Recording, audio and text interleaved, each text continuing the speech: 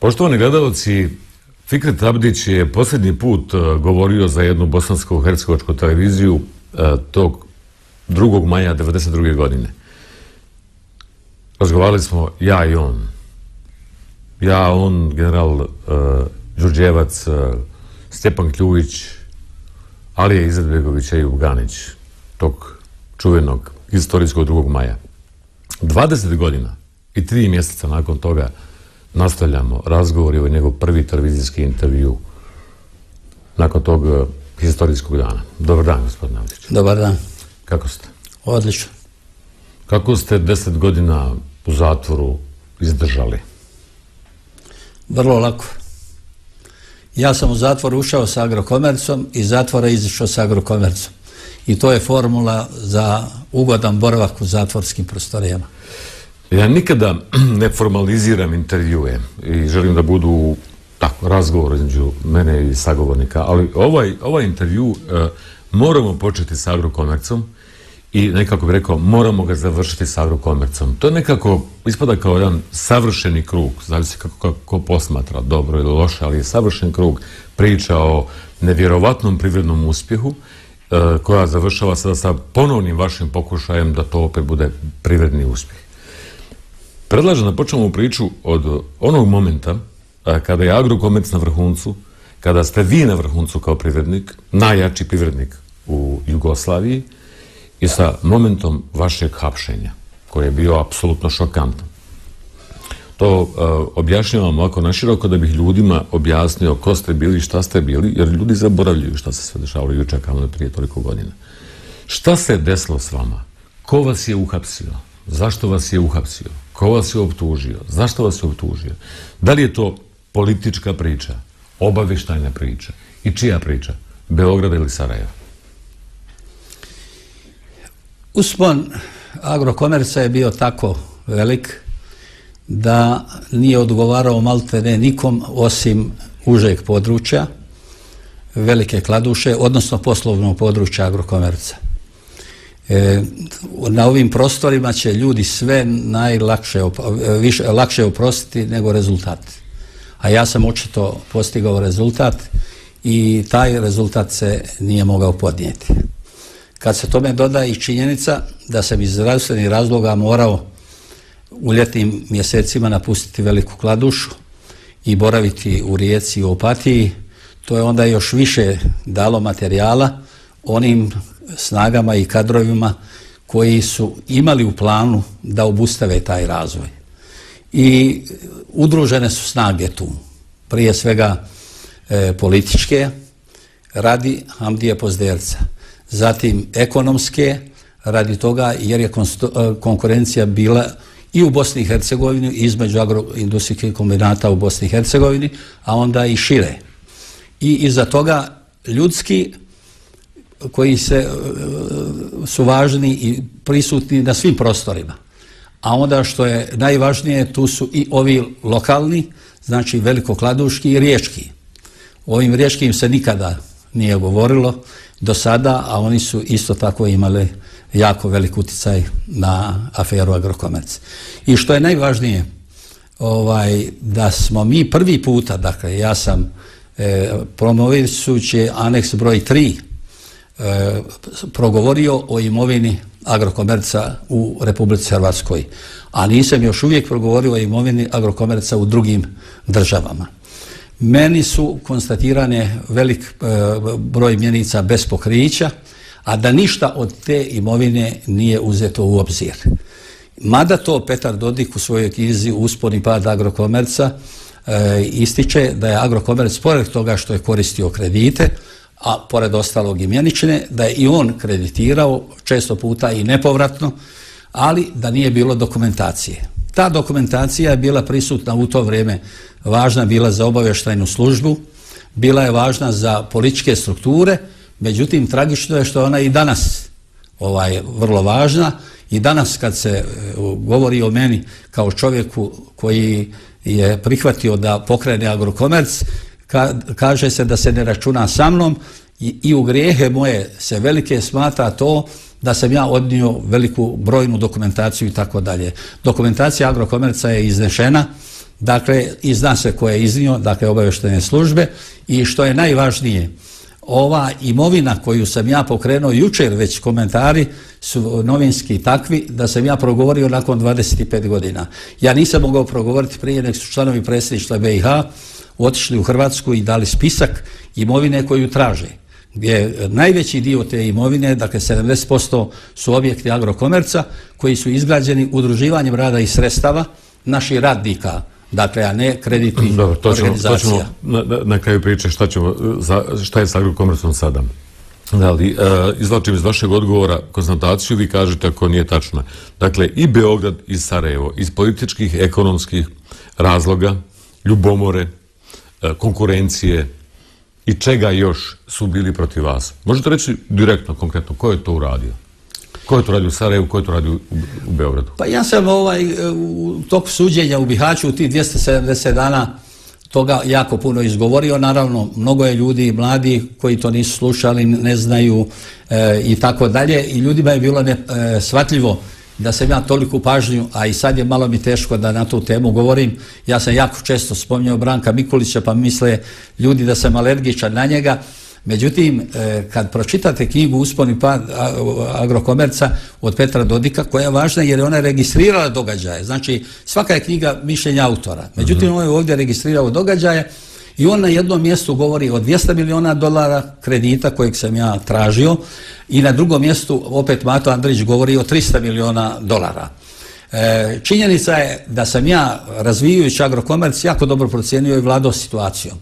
Ja sam mogao mnogo ranije ostvariti kredit ovaj, od 300 miliona dolara koje mi je nudio Branko Mikulić. Ovaj, I zato sam ja na sajmu u Novom Sadu, e, kažu kako je to moguće da je zadržao sat vremena predsjednik Saveznog izvršnog vijeća, zadržao se malo na štandu. Mi smo upravo govorili na tu temu. I on je meni rekao znaš, da se samo ovo sredi, a tad je već e, procurilo u jav, ne u javnost toliko koliko je bilo prisutno u strukturama političkim, e, taj e, takozvani mjenični dug. Međutim, ja sam njemu rekao, ako se riješi ovaj, e, ako e, se ova situacija riješi bez ovih 300 miliona, odnosno 200 miliona, meni nudio 300 miliona, a ja sam rekao meni je dosta 200 miliona dolara, onda meni kredit uopće i ne treba. Znači, da je odobren taj kredit u ono vrijeme kad sam ja rekao, ja bi sve mjenice svoje iskupio, ali bi ja onda rješavao sa drugim republikama e, u to vrijeme, a sada državama, pitanje imovine agrokomerca kod njih i onda bi za, e, na pravi način završio da. cijelu stvar. Da. E, u, u našem razgovoru vi ćete čuti od mene e, pitanje koja možete protumačiti, kako bi rekao, kao sumnjičenje. Da. Pitanje su zato što, zato što želim da našim gledalcima zaista objasnim taj period, evo, od 87. godine pa do, pa, pa do sada, šta se to sve dešavalo. Znači, radim to više zbog, zbog gledalaca. Dakle, prva tačka je to, to vaše hapšenje, znači, objasnili ste zbog čega je to urađeno, onda vaš suđenje i odlazak u zatvor i onda oslobađanje. Kako to da budete, uh, uh, šta je sumnja u tome? Da. Kako to da vas, recimo, Beograd uhapsi, to je tada bilo apsolutno uh, uvriježeno mišljenje koje je još ostalo, da. da je atak na vas, na agrokomercu, stvari bio prvi atak na uh, Republiku Bosnu i Hercegovini. Prvo je ekonomski oslaviti i uništiti, a onda da. je lakše i vojno i politički porobiti. Kako se dešava oslobađanje, zašto se dešava oslobađanje i gdje je sumnja? Sumnja u tome da su vas pustili zato što biste trebalo da za njih nešto odradite ovdje, u Bosni i Hercegovini. Da li ste u to vrijeme dok ste bili u zatvor bili pod političkim pritiskom, pod obaveštanjem? Da li, da li neko na vas vršio pritisak? Da li je neko pokušavao s vama da napravi dogovor? Da li je da napravi deal? Da bi vas pustio na slobodu, a da vi nešto? Pa ovdje eh, treba imati u vidu prvo činjenicu kako je počelo afera. Ona je počela sa požarom u našoj radnoj organizaciji Repno. Uh mhm. -huh. I od, prošlo se od toga da je požar uzrokovan ovom termopeći. Uh mhm. -huh. Išlo se na e, to zbog toga što je moj brat Zahid e, bio direktor te organizacije. I trebalo je prvo protiv njega krenuti kazneni postupak, a provjeriti moje političke kvalifikacije, hoću li ja tolerirati taj tretman njega kao brata i tako dalje. Prema tome, to je pošto. Šta je spasilo cijelu situaciju? Što je policija tajna izašla sa prijedlogom, a i ova civilna izašla je sa prijedlogom da je požar e, dakle, uzrokovan tom termoakumulacijom peći. Nijedan vještak u Jugoslaviji nije, teo to, nije mogao to potvrditi jer to nije točno. A zašto se je izmislio recimo požar? Mjenice su, dakle, ja sam umnožavao mjenice. E, zapalio sam sa robom i dokumentaciju i prikrio gubitke.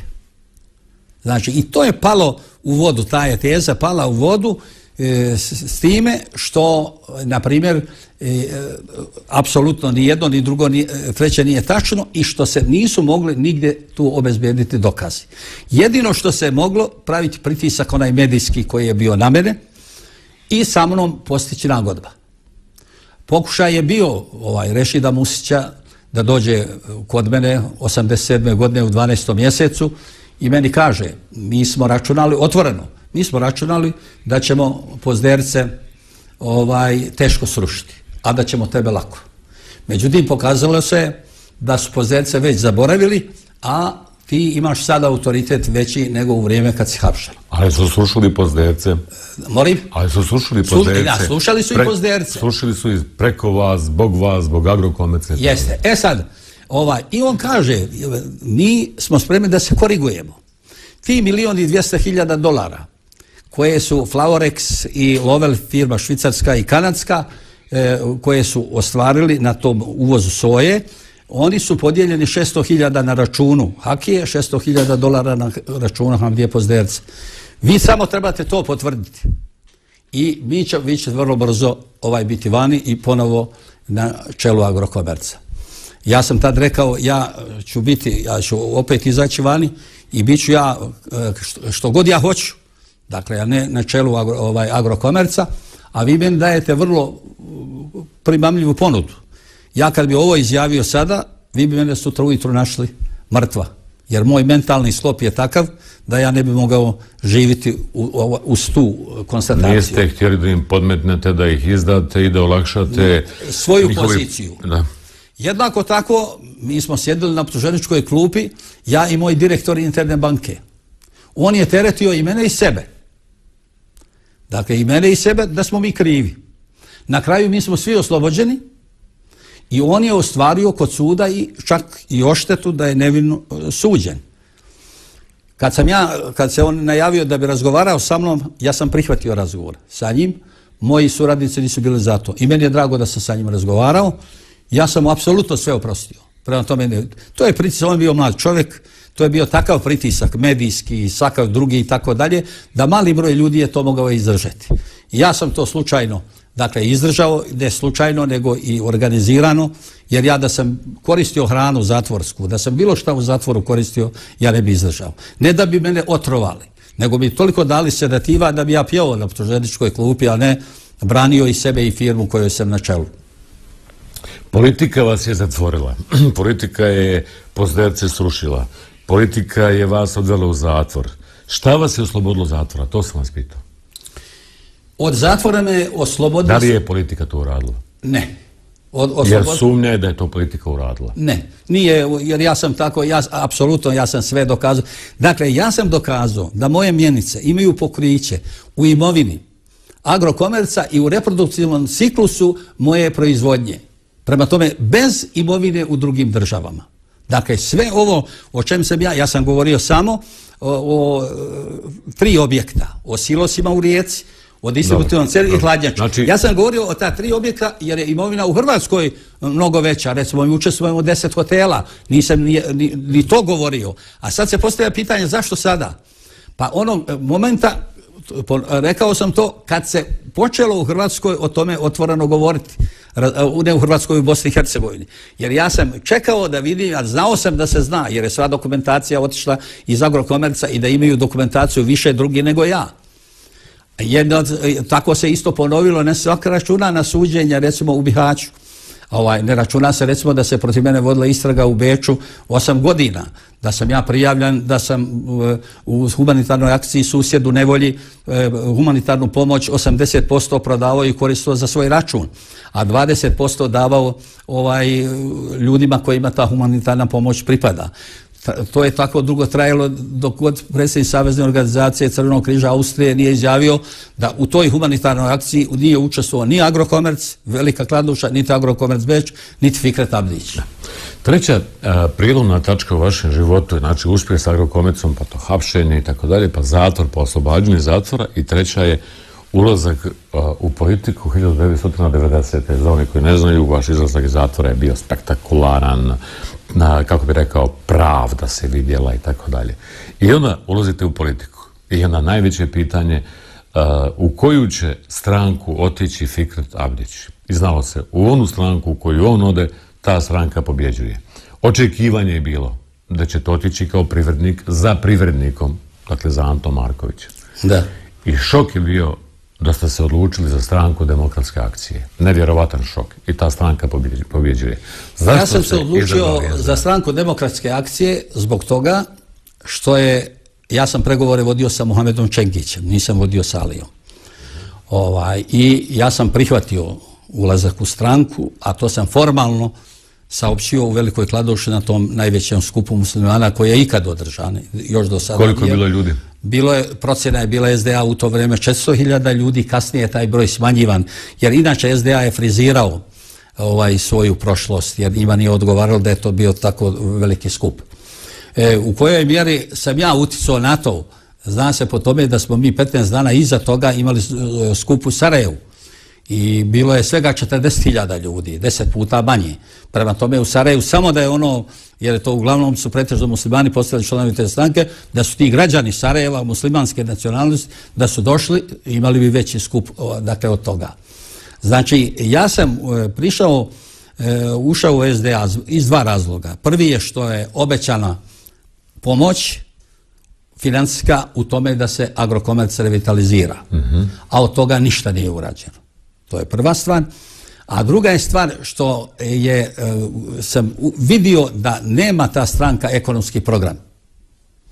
I što sam smatrao da bi, ako je već to obećanje takvo, ako je to prva stranka muslimanskog naroda, a ja sam e, ekonomski stručnjak, da bi bilo dobro da ja uđem u tu stranku. I ja sam upravo govorio na svim skupovima o tim ekonomskim temama i mi smo zato imali vrlo masovne skupove. Tako da je e, to dakle uticalo. A nisam ušao u reformske snage i zbog toga što Marković je bio uvjeren da nema potrebe ništa činiti, da je u to vrijeme on stvarno bio popularan u Jugoslaviji, da će sam riješiti sve svojim imenom. Ja sam znao da to neće i htio sam i da pustim da i sam vidi da se u to uvjeri. Zašto ste pregovarali sa Čengićem? Jeste li pregovarali sa Izadbegovićem u to vrijeme kada ste trebali preći? Ući u SDA? Ne, moj kontakt sa SDA-om je išao preko Sejna Čuka, mog savjetnika u Sarajevu. On je stupio u kontakt sa Mohamedom Čengićem. Mohamed Čengić je bio direktor Slovenije Lesa u ovom Sarajevu. Osnivača, SDA, osnivača i tako dalje. I meni se, ja tad nisam ni poznao druge karakteristike. I ja sam sa njim razgovarao, prihvatio to i za toga ovaj, sam to i saopćio. Dakle, ali i onda na, javno na tom skupu ovaj u Velikoj Kladuši. Četvrta prijelomna tačka je idete na predsjedničke izbore za člana predsjedništva Bosne i Hercegovine i ostvarujete najbolji izborni rezultat e, na svim izborima u Bosni i Hercegovini. Preko milion glasova, milion koliko je bilo? Milion 40? Milion 45 hiljada. 45 hiljada. Pobjeđujete na predsjedničkim izborima. Izabegović je imao daleko manje od vas. Kako to da vi kao izborni pobjednik uh, ne postanete predsjednik države, već to ustupite, ili kako biste vi to nazvali, Ali Izabegoviću? Prije svega, tu je priča dosta široka. E, odluka je donesena o, da se ide na višestranačke izbore, a da nisu izvršene promjene u Ustavu. Znači nije e, to, e, da, znači postojala je odluka u tome da se ide na više stranačke izbore, a po ustavu predsjedništvo nakon izbora bira predsjednika. To je e, prvo ograničavajući faktor koji bi čovjeka koji pametno razmišlja i tako mora o tome voditi račun. To je prva stvar. Druga stvar što sam ja pokušao na stranci demokratske akcije da Alija Izetbegović je bio predsjednik i stranke, predsjednik izvršnog odbora, predsjednik glavnog odbora i tako dalje i ja sam se zalagao da se to ovaj odvoji, da, ne budu, da, da se ne centralizira tako. I u toj stranci se već vidjelo da je mislilo da ja tražim za sebe prostor u toj stranci. I ja nisam na pravi način uh, ušao u stranku, ja sam morao dati uvjete kojima ulazim ja te uvjete ovaj nisam dao, smatrao sam da to nije e, potrebno, pogotovo što sam smatrao da su tu uglavnom ljudi koji su stranci, da su vjernici, da se radi o poštenim ljudima, da tu neće biti ništa, nikakvi ovaj, makinacija i tako dalje. Prema tome, e, to je druga se. I sad dolazi glavni odbor, dakle, stranke u oči predsjedničkih izbora i sad treba se dogovoriti glavni odbor, utvrditi kandidata. To je prvo glupa situacija da nakon izbora glavni odbor stranke utvrđuje koga narod hoće za predsjednika. To je tako glupa situacija i tako dalje. I kada je on, predsjedavo je Alija, on kad je došlo to na dnevni red, on daje riješ Salemu Šabiću i on izlazi van. A ja sam znao, to je isto i Đuro Pucar radio, ovaj, ja sam inače, ali rekao da je on najveći komunista. Ovaj, eh, do, on je došao na vlast, Jura Pucar je bio najveći komunista. Nakon toga je on, jer mi smo usvojili statut stranke, po kom on ima pravo izabrati 25 članova glavnog odbora. Ja sam se tom protivio, govoreći da se boreći za statutarnost stranke, mi borimo za ustavnost Bosne i Hercegovine i da to nije u redu. I kad je to prošlo, ja sam to, ovo što sam sada rekao, i dakle, rekao Alija. Da, to je, e, dakle, to treba gledati na taj način. I sada, e, šta se dešava? Ja sam znao kad on izlazi, da je to da oni njega predlože. Znači, mene je izabrao narod, glavni odbor će izabrati Aliju. I to nastaje jedna vrlo mučna situacija u Bosni i Hercegovini, razumiješ i tako dalje. I ja sam htio, uvijek sam bio razložen da se izbjegne, jer prvi puta ja i napravi ovako konkretno e, ovaj odgovaram dakle na to pitanje. I ja sam ovaj e, zato odustao ja, ne odustao, nisam insistirao ja na tome da šutjeli. Da, nisam ja ovaj insistirao na tome da budem ja predsjednik, jer nego se vidio tu igru, razumiješ, i tako dalje, tako da su to čudne okolnosti, ali da se sad sa njima ne bavimo, krupnija stvar od te je, gdje je stranka SDA e, izdala sve demokratske principe. Da bi ja bio e, član glavnog odbora stranke 1991. godine, ja sam morao biti član ovaj ogranka, glavnog odbora ogranka SDA u Velikoj Kladuši. Ja nisam izabran u glavni odbor ogranka SDA u Velikoj Kladuši. Jer su stvorena tijela, to je posebna demokra SDA demokracija, yeah. to tijelo koje je bilo, je bilo 61 člana. Ja. I to je Mirsad Velađić dobio 61 glas, Eju Balagić, to je gradonačelnik u to vrijeme, Kladuše koji je kod mene bio referent u marketingu, što je nepojivno zaveo ljude, iako ne znači može biti pametniji ovaj, i tako dalje, on je dobio 59, e, drugi su dobili, tako da je recimo meni ostalo u 54 dobio e, jedan od mlađi ljudi, Čemalović ovaj, braco, a ja sam dobio 34 glasa. Ja. Dakle, to je bio i nisam ušao u glavni odbor. Da ja, e, kad bi ja, ne mogu, ako nisam u glavnom, ne mogu biti kandidat za člana glavnog odbora SDA u Bosni. Znači, to je najveći falsifikat i najveća podvala. I ovaj, e, kad je završen kongres, mene, ali, a ti 25 je Alija Pozerac imao, Pozerac kuća, Alija Izetbegović imao pravo e, predložiti e, radi toga što su pošle se od toga da ima mladi ljudi koji su dobri stručnjaci, a u to vrijeme Bosni i Hercegovini trebalo stručnjaka, pa, a nisu poznati u narodu, pa da on kao predsjednik stranke ni predloži da uđu u glavni odbor.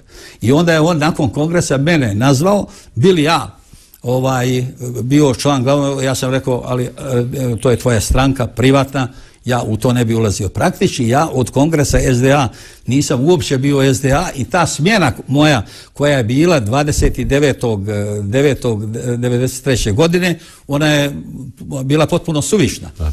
Jer niste bio tome. Jer nisam bio. Sljedeća, sljedeća tačka je uh, uh, taj 2. april, ne 2. maj, 2. april 92. godine, to je dan kada se na radio, to je već tu počinje, kako bi rekao, pa čak i priča između nas dvojice. 2. aprila 1992. godine ja, ja sam urnik dnevnika i tog dana je bio izvršen prvi otvoreni, vrlo jasan napad na Bosnu i Hercegovinu, paravojske, vojske, arkanovaca, šešiljevaca, dobrovoljaca na Bijeljinom. Ja sam tog dana na osnovu 150 kontakata sa ljudima iz Bijeljine, reporterskih izvještaja, bezbroj slika, fotografija, snimaka, rekao, dobroveče, ovo je rat. Malo je ko vjerovao. A onda vi odlazite u Bijeljinu, da vidite šta je to u Bijeljini. I opet sumnja, otkud vi u Bijeljini? Znači, stalno je priča o tome da, je, da, da vas, kako bi rekao, Srbi hapse, Srbi oslobađaju, Srbi nagovaraju da odete u SDA, Srbi vas pozivaju u Bijeljinu. Stalno je, stalno je ta. Dajte nam priču o tome kako, otkud vi je Biljana tamo, šta je taj susret između vas i Arkana, šta ste radili u Bijeljini, zašto ste otišli u Bijeljinu, šta ste tamo vidjeli i uh, iza čega stojite 20 godina i 4 mjeseca poslije tog obilaska Bijeljine? Radi se o dvije posjete Bijeljini. Ja. Na sjednici predsjedništva je za, zaključeno da idu tri člana predsjedništva. Dakle, e, jedan ispred muslimanskog naroda ja, ispred srpskog naroda je trebao ići neko, a nije prihvatio niko da ide i ispred hrvatskog naroda jedan član predsjedništva također nije prihvatio niko da ide. Da bi se to popunilo, i to je greška bila u predsjedništvu, što se javnost nije oko toga informirala, onda je dogovoreno da ide e, Jerko Doko kao Hrvat, e, Miodrag Simović ide potresnik vlade kao e, Srbin, Jerko Doko u to vrijeme bio ministar odbrane, i da idem ja na čelu delegacije i kao član predsjedništva i kao musliman. I mi smo došli u Tuzlu, trebao ići Alija Delibustefić, on nije krenuo iz ne znam koji razloga i mi smo došli u centar službe bezbednosti u Tuzlu. I rekli da idemo u Bijeljinu, da oni idu sa nama i tako. Oni su rekli mi ne možemo proći nikako jer imaju rampe i tako dalje. Ja sam onda rekao ne, mi moramo ići, mi smo delegacija, mi idemo i, ja, i krenuli smo. Mi smo naišli na prvu rampu, ja sam išao i pustili da uđemo u, glje, u Gljevik. U Gljeviku sam ja e, nazvao generala Jankovića da me obezbedi da dođem do Bijeljine. On je meni poslao svog adjutanta koji je došao, ja ime nisam zapamtio, kaže ja nisam aktivan oficir, ja sam profesor, inače kapetan prve klase i tako dalje, nemojte ići, tamo se nema vojske koje nema. Pošto ja nemam običaj da se ovaj vraćam, tako sam koncipiran. Ja, morate, morali ste otići tamo. Morao sam otići. I kad sam došao jedno pet kilometara do Bjeljne, onda su mladići koji su rezervisti, molili da ne idemo, oni su trčali za kolima, za nama i tako dalje. Mi smo došli na jednu poljanu, To je ogroman broj vojske, to o broju ne bi mogao govoriti. Tako koja, dalje. koja vojska? Uh, Regularno? Sve, jedna, svake, jedna, nema vojske koje nema, evo, ta koja je postojala u to vrijeme. I mi smo zaustavljeni tu. Tad je prišlo taj jedan, rekao da se mi maknemo, da stanemo u stranu. Svi mi kao delegacija i mi smo stali u stranu. Iza toga je došla grupa koja je bila, imate li oružje? Uzeli oružje. Nakon toga je došla ovaj grupa od nekih 70 do 80 vojnika pod punom ratnom spremom, sa bajonetama na puškama i tako dalje i re, komanda je bila da ležemo. Lezite. Oni su svi legli, ja nisam legao. Simović ne, Simović je legao, jer godo, svi su legli. Ja nisam legao i ja sam rekao ne, ja leći neću. Ja sam član predsjedništva ove države u funkciji mira, pucajte. I to sam tri put ponovio i onda treći put kad sam rekao, vidio sam da je jedan pokret neobičajen kod ljudi, u biti nije bilo komande, jer niko nije predvidio da će biti neko ko neće leći. Tako da ja ne prikažem sebe kao heroj i tako dalje, e, kao heroja. Razumiješ, oni to nisu predvidili. Kad su vidjeli da nisam rekao, mi smo onda stali i za toga je e, došao, pojavio se Arkan. Arkan je rekao, ne može se proći, niko ovdje ne vlada, niti Janković, ni ja, ni drugi i tako dalje, ima vojske koje nema, vi se vratite, molim, a već je to bilo ponoći, ovaj, ujutru, mi ćemo do ujutru vladati situacijom i moći se doći. Tako, i ja sam vratio se u predsjedništvu, sutra ujutru došla je Biljana Plavšić i Koljević kod mene i oni se meni ispričali, što se to desilo, veli naj... Znali su što se desilo. Da, da znali su oni ovaj što se desilo i Biljana Pavić je i saznala, ona je ovaj tako ona je rekla meni u predsjedništvu i Koljević rekli da su oni zvali i tako dalje. I sad ovaj ja sam o, mi smo otišli da sjednicu predsjedništva, ja sam referisao o tome kako je. I tad je zaključeno da idemo ponovo u Bijeljinu, Ja, niko od hrvatskih članova predsjedništva nije htio ići. Kod nas je moglo se u predsjedništvu, mi nismo organizirati, to se mora znati, nakon toliko vremena, ako ideš, ko, da ideš na ekskurziju, ide se, ideš, ako to ne, ne ide. Niko od Hrvata nije prihvatio da ide, zato što je Franjo Borac uvijek išao u tim delegacijama, sa mnom u Derventu išao u Brod i tako dalje, a nikad ne ide Kljujić i on nije htio da on konstantno ide, odustao od toga, a poslije se vidilo nakon prigovara koji se meni e, imputiraju i tako dalje da je Borac bio u pravu ovaj, jer prvo se izlažeš najvećem riziku kad ideš, a iza toga se izlažeš e, da te tumači na način e, na koji nikako ne bi smjeli tumačiti da, ovaj, i tako dalje. I onda smo mi krenuli ovaj, u Bijeljini Biljan Prašić. Ja, kad smo došli na taj trg, to je stvarno bilo, taj scena ima na televiziji, bila je, mi smo došli, ušli smo u salu, Tamo ima i prikazano na televiziji da meni pokazuje pušku, jer ja sam, e, oni su rekli oko tog, e, ja sam prvo rekao, molim vas, e, ima li ovdje muslimana kad sam ušao dvoran? Kaže, nema. Uvjet da ja prisutujem ovom sastanku jeste da nakon ovog sastanka, da mi obećate da ću nakon ovog sastanka sa mnom zajedno obići sedam ulica i na trgu sam ja bio, vidim, ali još jedan put da provjerim, da li preti opasnost ljudima koje ja pozovem i da ja odem u radio Bjeljinu, da pozovem ljude da dođu e, kod mene.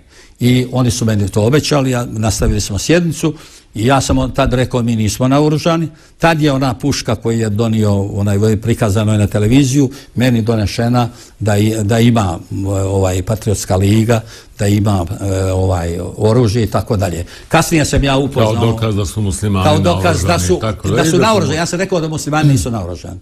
On je to donio kao dokaz da su muslimani ovaj naoružani. Kad je završio taj sastanak, Ja sam otišao u Radio Belju, pozvao ljude i došli su.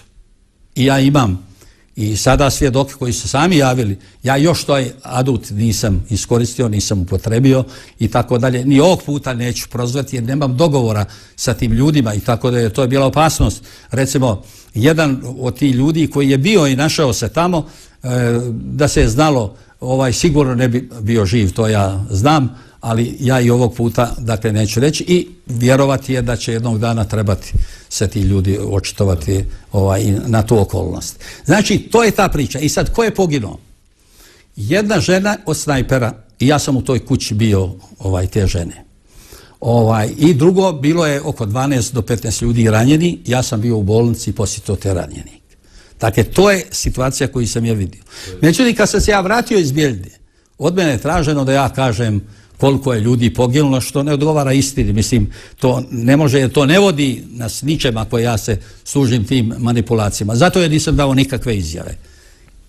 A gospodine Avliću, postoje snimci gdje vi šetate ulicama Biljine. Uh, to, to su, uh, kako mi to kažem, nemontirani snimci, sirovi snimci. Dakle, kako je dolazilo, mi smo to, to emitirali.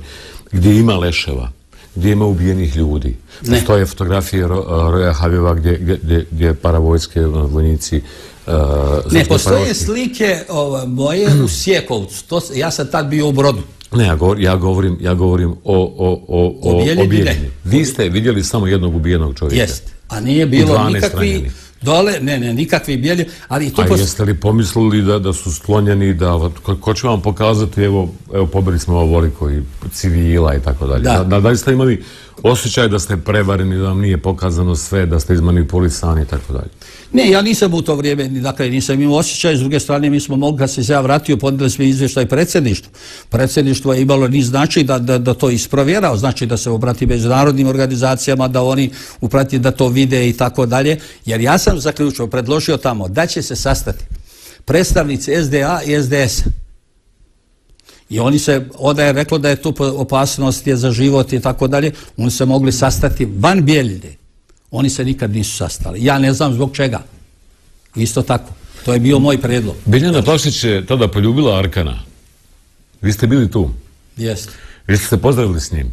Jesam, pozdravio sam se ja, onda se poljubila sa njim. Sve su, to, se... sve su to scene koje vas, kako bi rekao, karakterišu kao čovjeka, onako kakvog iz Sarajeva vas gledaju. Da. Dakle, da ste bili sa Arkanom, pozdravili ste se, ona se ljubila s njim, vi ste razgovarali s njim. Šta se dešavalo? Šta je to? Šta je to što mi... Ne, ja nisam dešavao. Mi... Arkan je, ja sam se pozdravio Arkanom, ona se, prvo sam se ja pozdravio samo... Da li ste znali ko je on? E, ne, u to vrijeme Arkan nije bio poznan, da se razumije, Arkan je poslije toga. To je početak rata.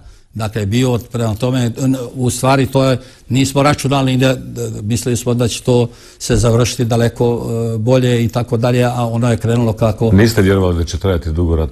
Ne, ja, ja nisam o tome razmišljao, ja sam u posjeti jednoj, dakle, u jednoj vrlo delikatnoj situaciji, dakle, u posjeti moja je zadaća da odem tamo, da vidim situaciju i podnesem izvještaje predsjedništvu.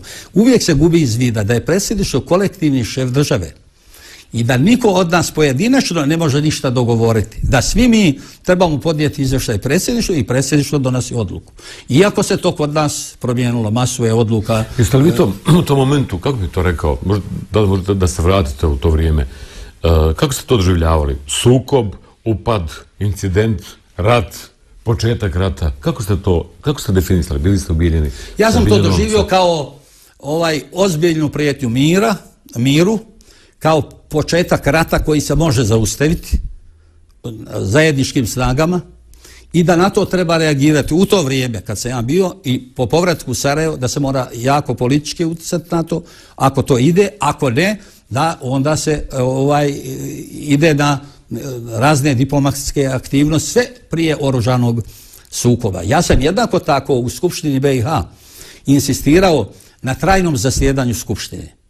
Zašto? Zato što smo mi, e, to je bila takva situacija koja zahtjeva e, pripremu određenu u svakom pogledu. Razumiješ? Ja sam razgovarao Alijom o tome i on je rekao nećeš se izboriti da trajno zasjeda Skupština. Ja sam se izborio da zasjeda.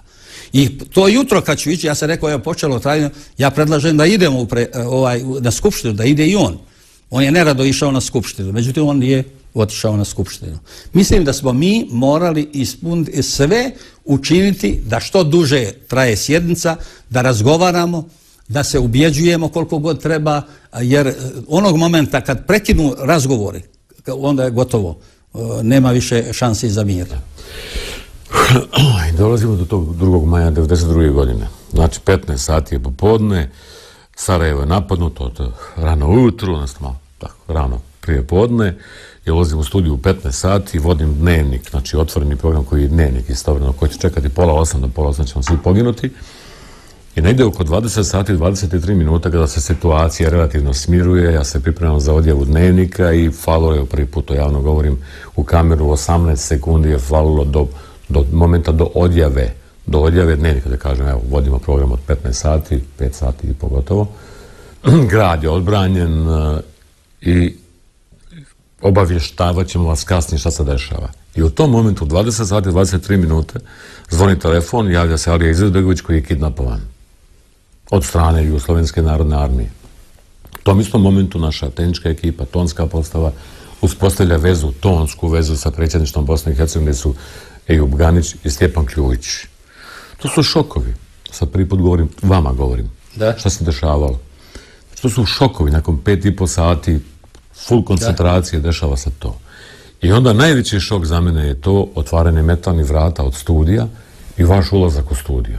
To su tako, znači, u, u jednoj, u par minuta vi imate informaciju da je predsjednik na liniji koji je kidnapovan, javlja se štaba srpske vojske, snaga, paravojski, predsjedništvo, dvojično članova predsjedništva koji se javljaju iz predsjedništva i četvrsto članova predsjedništva koji ulazi u studio. Sva priča o vama, gospodin Avdiću, je upravo u tom drugom maju da ste došli tu, otkud vi tu, zašto tu? I vi znate sarajevsko tumačenje, znate tumačenje SDA, znate? I nešto što morate da znate da bi smo ovaj razgovor baš onako usmjerali. jedno gotovo prihvaćeno historijsko, vrlo teška riječ, historijsko tumačenje da ste vi tu noć, taj dan, tu noć, stvari, ušli unutra u taj studio da preuzmete vlast. I to se u Sarajevu vrlo direktno naziva kombinacijom državnog i vojnog udara. Otkud vi tu 2. maja?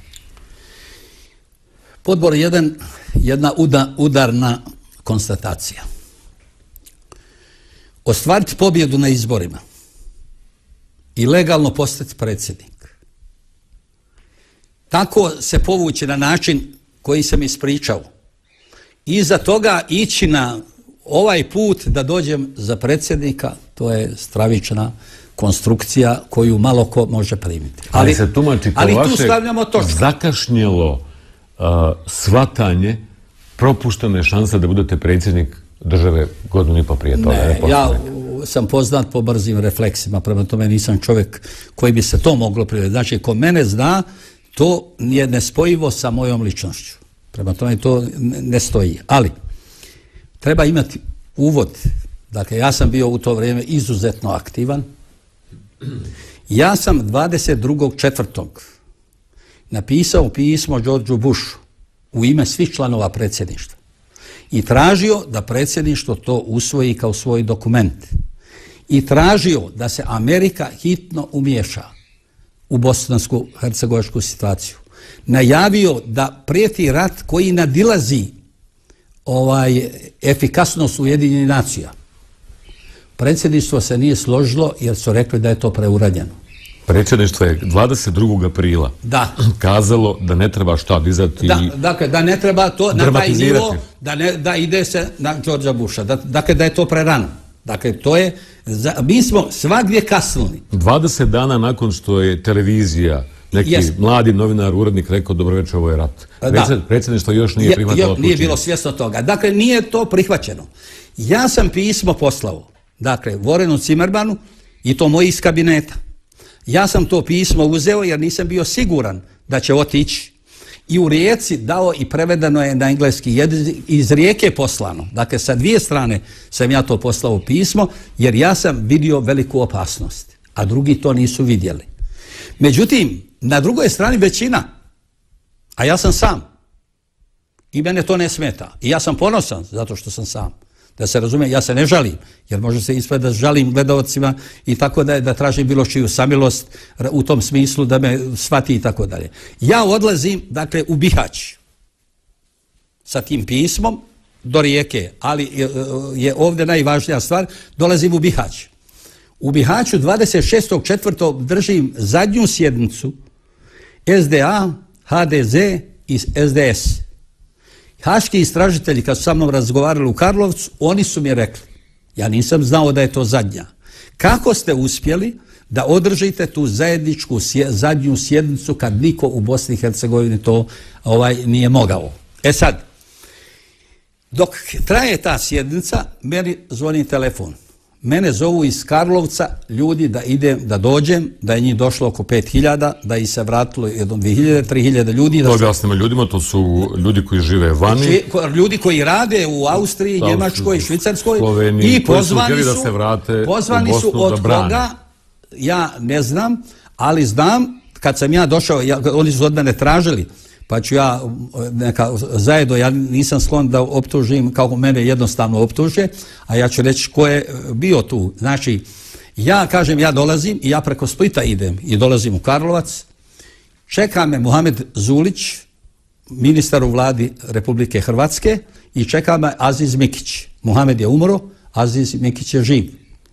I pitaju mene šta ću ja tim ljudima reći, a oni su na stadionu malom u, na Ilovcu, Šta ću im reći? U Hrvatskoj. Ja ću, da, ja ću, ja kažem, ja ću im reći da se oni vrati.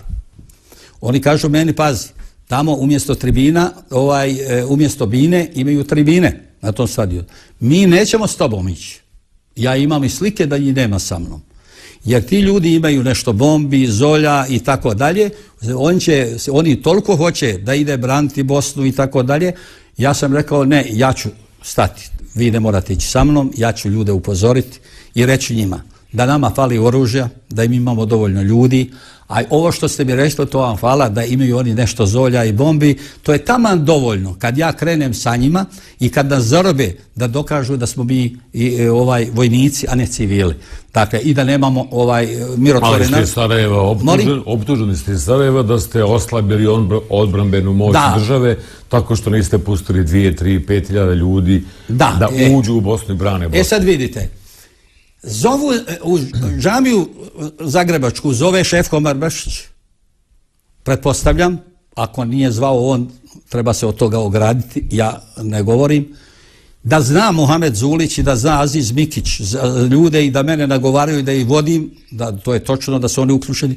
Po čijem su nalogu oni uključeni da dođu u Karlovac, ja to ne znam, tako ne mogu govoriti to što ne znam, ali samo ja sam vratio ljude i dobro sam uradio, da inače u protivnom bi ja odgovarao, odgovarao za sudbinu dakle ti ljudi. I napravio veliku grešku za Bosnu i Hercegovinu jer mi nismo imali, ti su ljudi hranili svoje e, obitelji i tako dalje, prema tome oni su trebali da rade i da privređuju i pomažu i tako dalje, jer se je videlo u kakvu je situaciju ušlo to takozvano u to vrijeme se zvalo e, Bihaćko okruženje. I ja kad sam to završio, ja idem u Beč jer sam direktor agrokomerca Beč i u Beču sve bjanko potpisujem. Habibi Zukić, ona je živa i zdrava, dakle može potvrditi.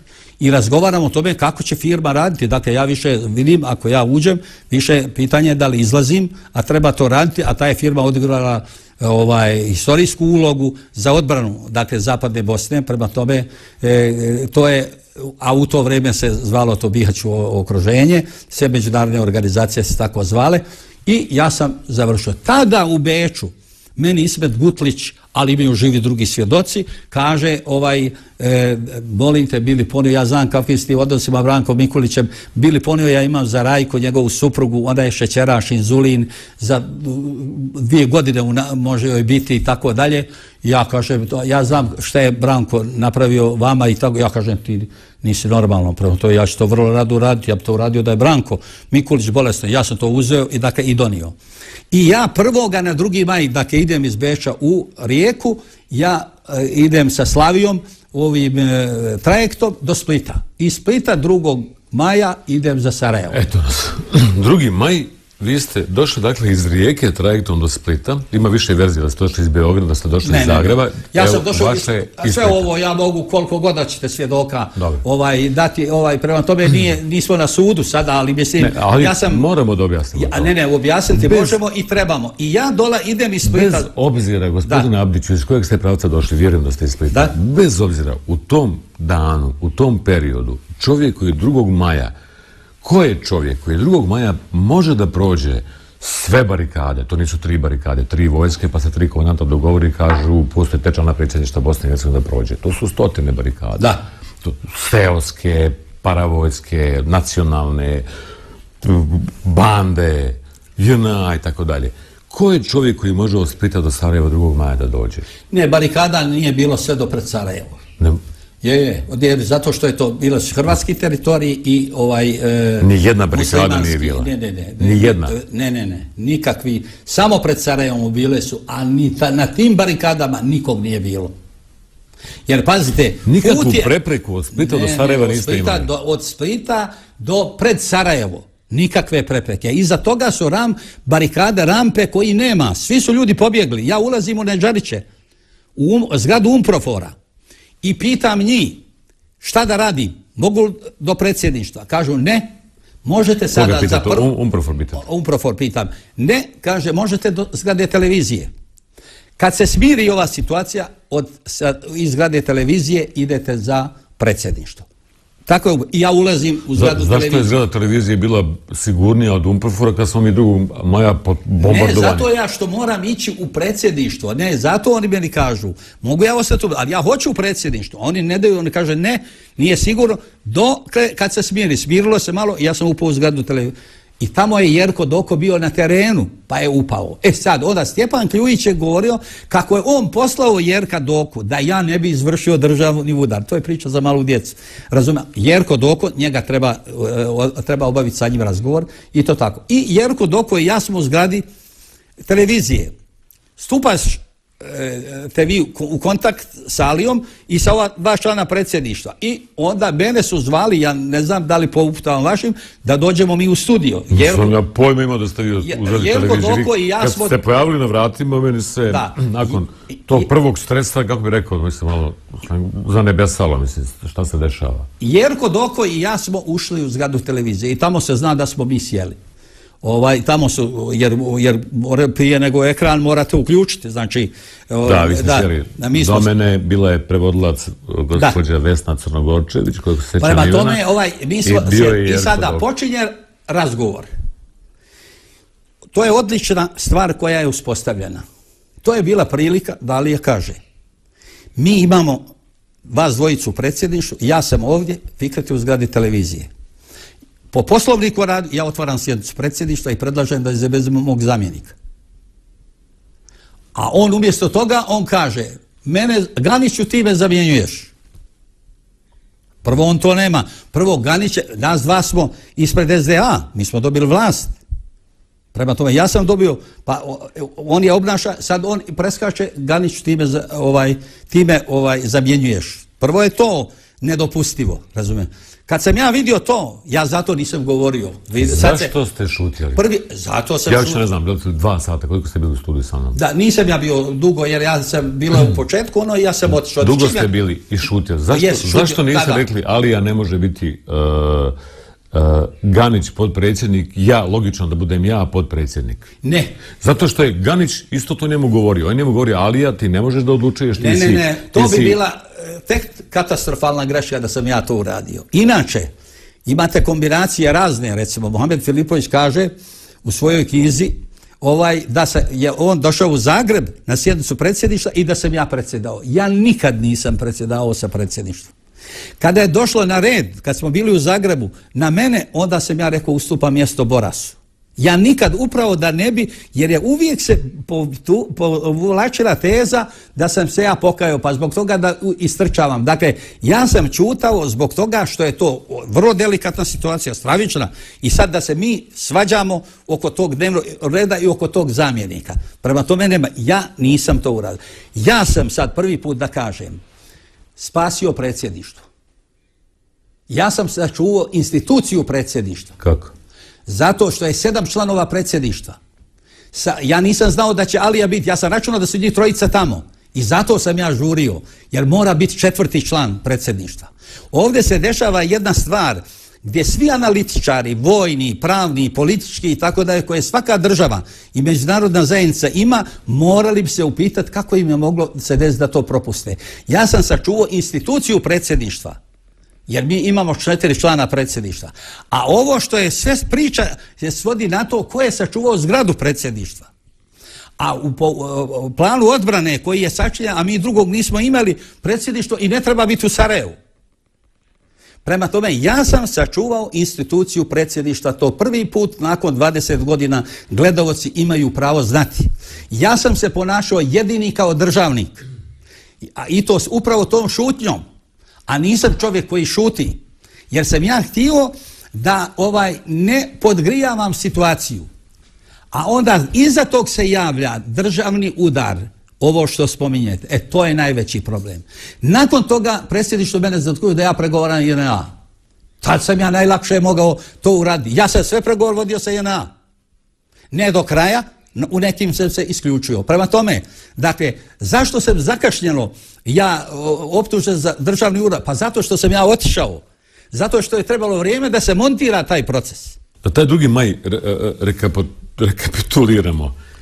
Dolazite iz Splita bez problema do Sarajeva, do Umprofora. Iz Umprofora vas usmjeravaju na televiziju Bosne i Hercegovine. Uh, u toj zgradi ste u momentu kada um, Izabegović javlja da je kidnapovan, ulazite uh, u studio, u studiju šutite. Jeste. I kažete post festum, posle svega, da to niste učestovali u nečemu što je okvalificirano i u Bosni je jako kao beton u državnom udaru, u preuzimanju vlasti. Da. E, hajde, kako bi vam to rekao, ubijedite me. Ubijedit ću vas. Prvo i osnovno. Vi uvijek vrtite, a znam zbog čega, Srbi mi uradili ovo, pa mi Srbi uradili ono, pa mi Srbi Ko, uradili... ko vrti? Vi sa pitanjem. Aha, Ovaj, oslobodili me, zatvorili me. Da, da, zato, zato vrtite. što, pazi, Da. ja, ja vam ne prenosim samo moje dojmove. Da. Možda u tome da ne vagamo sada, imam mojih 50%, 50% je opštih dojmova. Znači, ja sam Da. novinar koji vama a, predstavlja a, čovjeku koji je izišao iz zatvora, 100% vam vjerodostojno prenosim a, stav ljudi u, Bosnu, u Bosni, u Sarajevu, stav Bošnjaka, stav Bošnjaka iz Bihaća, onih koji su vaši protivnici Da? da skratim priču, bošnjaka koji vas ne vole, koji su koji vas smatraju protivnikom, izdajnikom, čovjekom koji izvrši državni udar, da bi, da bi tu, da bi vama dao priliku da vidimo šta je to. Dakle, e, zašto pominjem Srbe? Zato što je to, oni su vas uh, optužili, oni su vas zatvorili, oni su vas oslobodili, oni su vas iskoristili u ratu. To je apsolutno, gospodine Abdiću, dojam ovama vama u, među ljudima koji vas ne vole. Pa onda koji da počnemo razgra, razgrađivati tu piramidu. Ajmo. Kada je počela se kuhati afera Agrokomerc, Ali ostaje na, na drugom maju, moramo doći do drugog maja. da, da, ne, ne, samo po- počeli smo od Srba. Kad se počela kuhati afera Agrokomerc i kad je došlo i krenulo, dakle, jer su činjenica je bio zgonjen Srbin, Gojko Ubi Parip Srbin, Milan Uzelac, predsjednik CK Srbin. To je- stoji. E sad, morate se spustiti do rijeke. Vili Mulc je republički sekretar za unutrašnje poslove Hrvat. Ništa zgonjenin nije mogao urediti Gorko Ubi Parip dok Vili Mulc nije došao iz rijeke u Bihać. Tad se sastaju grupa, vrijeme je dugo koje se sastaje i tad su shvatili da se definitivno mogu rušiti, dakle da oni vladaju situacijom e, tako dalje. A što se je to desilo e, u Rijeci? Vili Mulc je bio direktor Rijeka tekstila, prije toga nego je bio republički sekretar. Ja sam sa privrednicima Rijeke svim radio, nisam sa Vili Mulcom radio. I tu počinju tragovi, jer vi ćete uh, morati, ali sad ne može, ovaj, uh, ovaj naš razgovor ne može stvari dovesti može, do ne, kraja. zato ja ne. samo ću preskočiti. Dakle, krenuo sam odatle da samo ubacim to kao tezu koju će trebati, dakle, e, trebati razrađivati. Sad dolazimo, e, dolazimo do rata.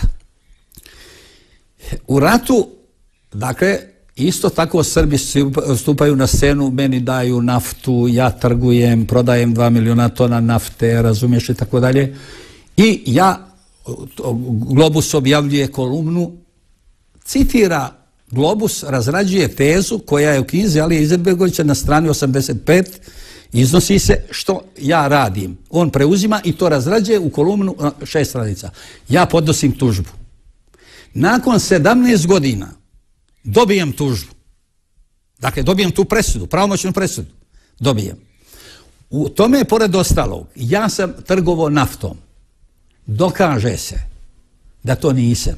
Imam pravosudnu, pravomoćnu presudu ovaj Hrvatskog suda. Istovremeno imam dokaz da je drugi hrvatski predsjednik svjedočio u Hagu neistinito o tome da je to meni obezbiđivo Nikica Valentić i tako dalje, a moja veza sa Srbima, ja onda to Srbima oprihodovo i tako dalje. Dakle, tom robom nisam radio. A završava se tako banalno da tog svjedoka, Krunsko koji piše tu kolumnu, pitaju, pa dobro, kako je ovaj, to je, pa on kaže, to su dva ministra u vladi. Kako je ime, ja ne mogu reći. Da, vi vidite, ja 17 godina pod optužom živim, da, da on rekao da ne može, a ne može se dobiti za sedam, o, pet godina su tjerali ga da dođe da svjedoči. Iza toga, kaže, ne znam ja, možda je Umprofor, veli njemu prodao naftu. A ovaj kaže, pa ne. Hoćete i- da kažete da, da, da na vaš e, život, na o- optužbe prema vama je to nisu samo Srbi, nego su i Hrvati. Da, da, da. Ta- Prema tome je to. Ali, Ali- se opet, pazi, ključ je novac, samo da kažem. Novac je ključ. Hrvati pomažu da ja dobijem naftu i ja zarađujem ogromne pare. I ja postajem najbogatiji musliman. Tu je ključ. Najgora je, nije meni što sam ja izdajnik, ovo, to je najmanji problem. Najveća moja, jer to ljudi meni vjeruju, ja imam ljude u dijaspori i tako dalje, kako nema pet ovaj predsjednika država, tako ne stoji kao što stojim ja, ljudi i tako dalje. Ali kad su oni vidjeli da sam ja najbogatiji musliman, ja sam onda došao u poziciju, samo da ovo kažem, da sam ja jedini čovjek koji je optužen za ratni zlo- zločin, visoko pozicioniran, kojemu niko ne plaća odbranu. Dakle, muslimanima plaća vlada federacije. Hrvatima plaća vlada Federacije Republika Hrvatska, Srbima Srb, Republika Srpska i Srbija. Meni niko. Pa to je optužba još više na vaš račun. To je od, od, otkud vam? Da, molim. Otkud, otkud vam pare za odbranu? To je Nemam, nemam još uopće odbrane. Ja pogodim uh, odvjetnikom da mi uradi to i platim mu to to, a nema, ja, ja sam prvo po službenoj dužnosti imao odbranu. Ja sam doživio to da mi predsjednik suda Rukavina kaže, ma znate, svi znaju da vi do, imate do, pare. do, doćemo do toga. Do- o, da, ovo da. sam vas pitao za Ali sebe. ićemo Znači, da- sta- nad vama je stalno sumnja, da skratim tu priču, da, Da. ste, da ste zbog, nakon hapšenja Da?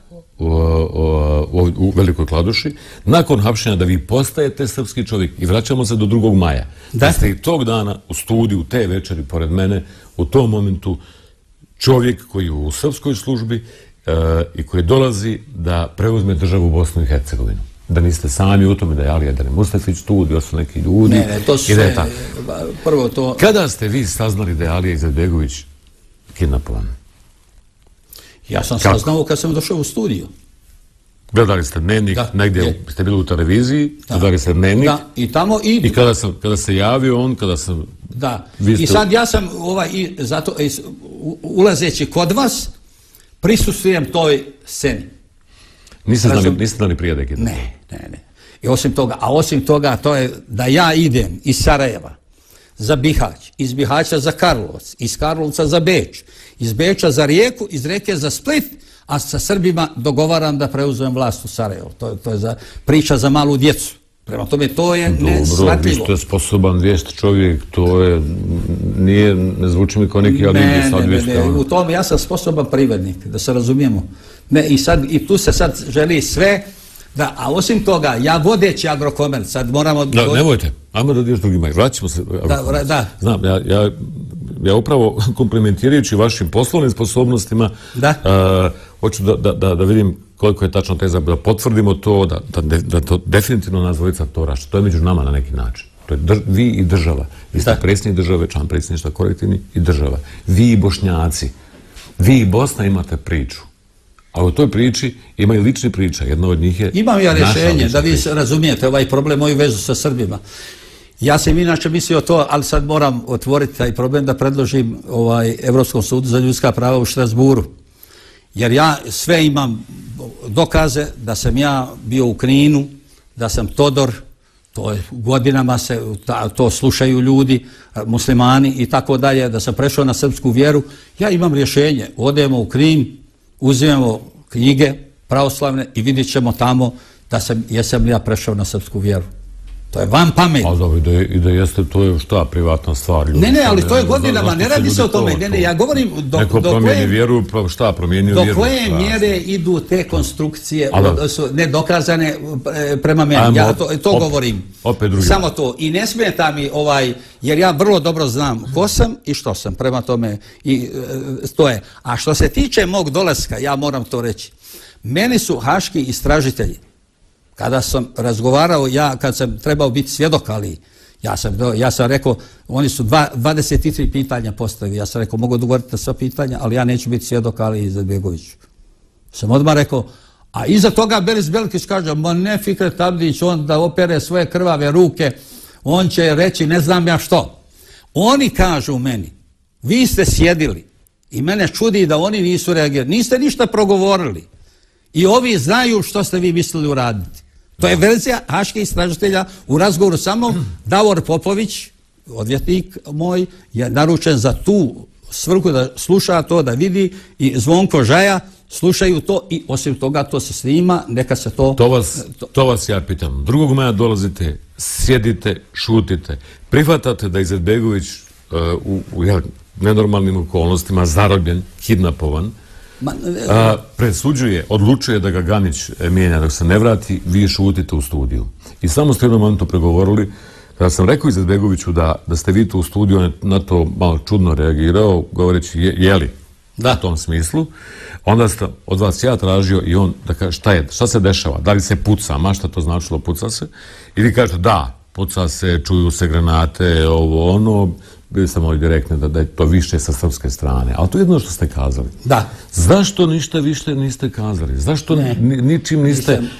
Pa, Da li da ispričamo tu priču? Ne, mora se znati. Onog momenta kad sam ja pobjedio Ali Izetbegovića, ja kao da sam pobio njemu sve, i djecu, i braću, i sestre, i susjede, sve živo. On je planirao da bude vođa. I to je za njega, ja njega razumijem. On je planirao da bude vođa, Izvori su ga razoružali. I on je morao nadomjestiti to. I nije štedio vrijeme, ljude, sredstva da e, ruši moj autoritet, što nije teško. A ja sam danonoćno radio da čuvam svoje ovaj životno dijelo, to je agrokomerc, danonoćno radio i tako i prvi put da sad kažem, a vezano je i za funkciju predsjednika. Ja nikad još u Bosni i Hercegovini nisam rekao, niti to, a zna se, nije tajna, ni konstativno. Ja sam bio predsjednik upravnog odbora i generalni direktor agrokomerca. To ne znate. Ovaj, bio sam jedno i drugo, a to je inkompatibilno. Da. Dakle, da bi uopće se agrokomerc revitalizirao, govorili su nema mu spasa. Isto kao sada, govorilo se 89. godine. Tako. Vidjelo se od prvi prvi 90. da ima. Čak šta više spojeno je, dakle nije išlo samo na ovu liniju, spojeno je vrijeme, dakle agrokomerc ima jedan trend do... Da ne gubimo vrijeme, znam, znam to. I, i, da, je to ne znate. Predsjednik nadzornog odbora i generalni direktor i član predsjedništva Bosne i Hercegovine. Tako. Opet peti put, drugi maj. Zašto šutite? Zašto šutite? Ne, u, u toj situaciji... To, jer to je poenta. Znači, e, o, o, kada vam kažemo vi ste htjeli da izvršite državni udar ja? i vojni udar, kombinacija ne, to, da je to bilo, ja bih govorio... Vaša šutnja... Ne, vi nakradno, ne, samo malo. Vi izvlačite nakradno uh, zaključak koji je bio kasnije. Dakle, ja šutim zbog toga što bi pogubno bilo za Bosnu i Hercegovinu kao država, da se nas tri člana predsjedništva, nas četiri člana predsjedništva, sukobimo preko televizije i da to narod sluša. Ja šutim zbog toga jer sam odgovoran. Ja šutim jer sam državnik. Ja šutim jer nisam žeran vlasti. Ja sam dokazao, pa moji svjedoci da, da sudu kažu da bi ja sina ubio za vlast. A ja nisam ubio Aliju, ovaj nisam ga pogledao loše i ovaj a on je postao predsjednik predsjednika. Da se nakon toga kad se može ići i to sud sluša i u zapisnik unosi. Pazite to to to je jedna režija E, koja je nevjerojatna prema jednom čovjeku i zato mnoge stvari ruše. Vi, na primjer, ja sam, brati Zoš, kad idete, o, meni pozdravlja jedan svira ja, u Zagrebu, gdje god, u Opatiji i tako dalje, ko narodnom heroju. A ja sam ratni zločin. Otkud to? Dakle, jedno, zakladuš se zna. Dakle, to su ljudi, meni prilaze ljudi i prilaze žene i to kaže, sasvim se neježila da vas pozdravimo. Rijetko je vid takvog borca. Otkud vam snaga da se borite tako? Znamo da se čestuju. Ja, toko na stotine građana dana. Sve što ste vi malo prikazali, da, da ste šutjeli, da ste bili dostojanstveni, da ste bili državnik, Jeste. da niste htjeli da javno brukate predsjedništvo. Jeste. Tako, sve, to, sve su to također argumenti onima koji kažu da je to bio državni udar. Ne. Šutjeli ste i čekali ste da se nešto desi s Alijom. Da bude ubijen. Ako se, prvo da se... Da, Prvo, se raspadne i vi kažete hoćemo... ja nemam izbora drugoga nego da budem predsjednik države. Ne. Ja sam vi... onako legitimni. Imam ne, milion, morate, ne, ne, ne. Vi morate, mora se znati, ovaj, mora se znati sljedeće. Ovaj, prvo mora se razlučiti. Je li Hakija, a, je li Alija, a tu treba dati nekom stručnu da ocijeli. Ja nisam spreman. Ja. Dakle, u ovoj emisiji ja želim pokrenuti ideju. Da li je zadržavanje, ali je u kasarni, hapšenje ili je zadržavanje dok ne izađe kukvanjac. Ja nisam vojni analitičar, ovo je, on je u okruženju u Sarajevu, ali je dostupan ovaj e, vojsci na aerodromu.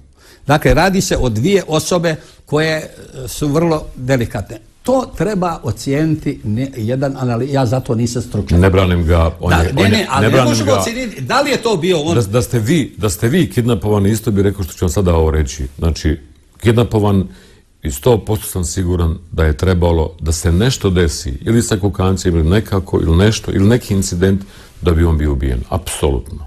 To, to da je njegova sudbina u, u Lukavici bila zapečećena, to je bila, to je apsolutno. Ne, ja ne govorim, ja mislim, ali, tu stvar, mislim, radi čiste bosansko-hercegovačke situacije, ako hoćemo državu, masu stvari treba isprovjeravati.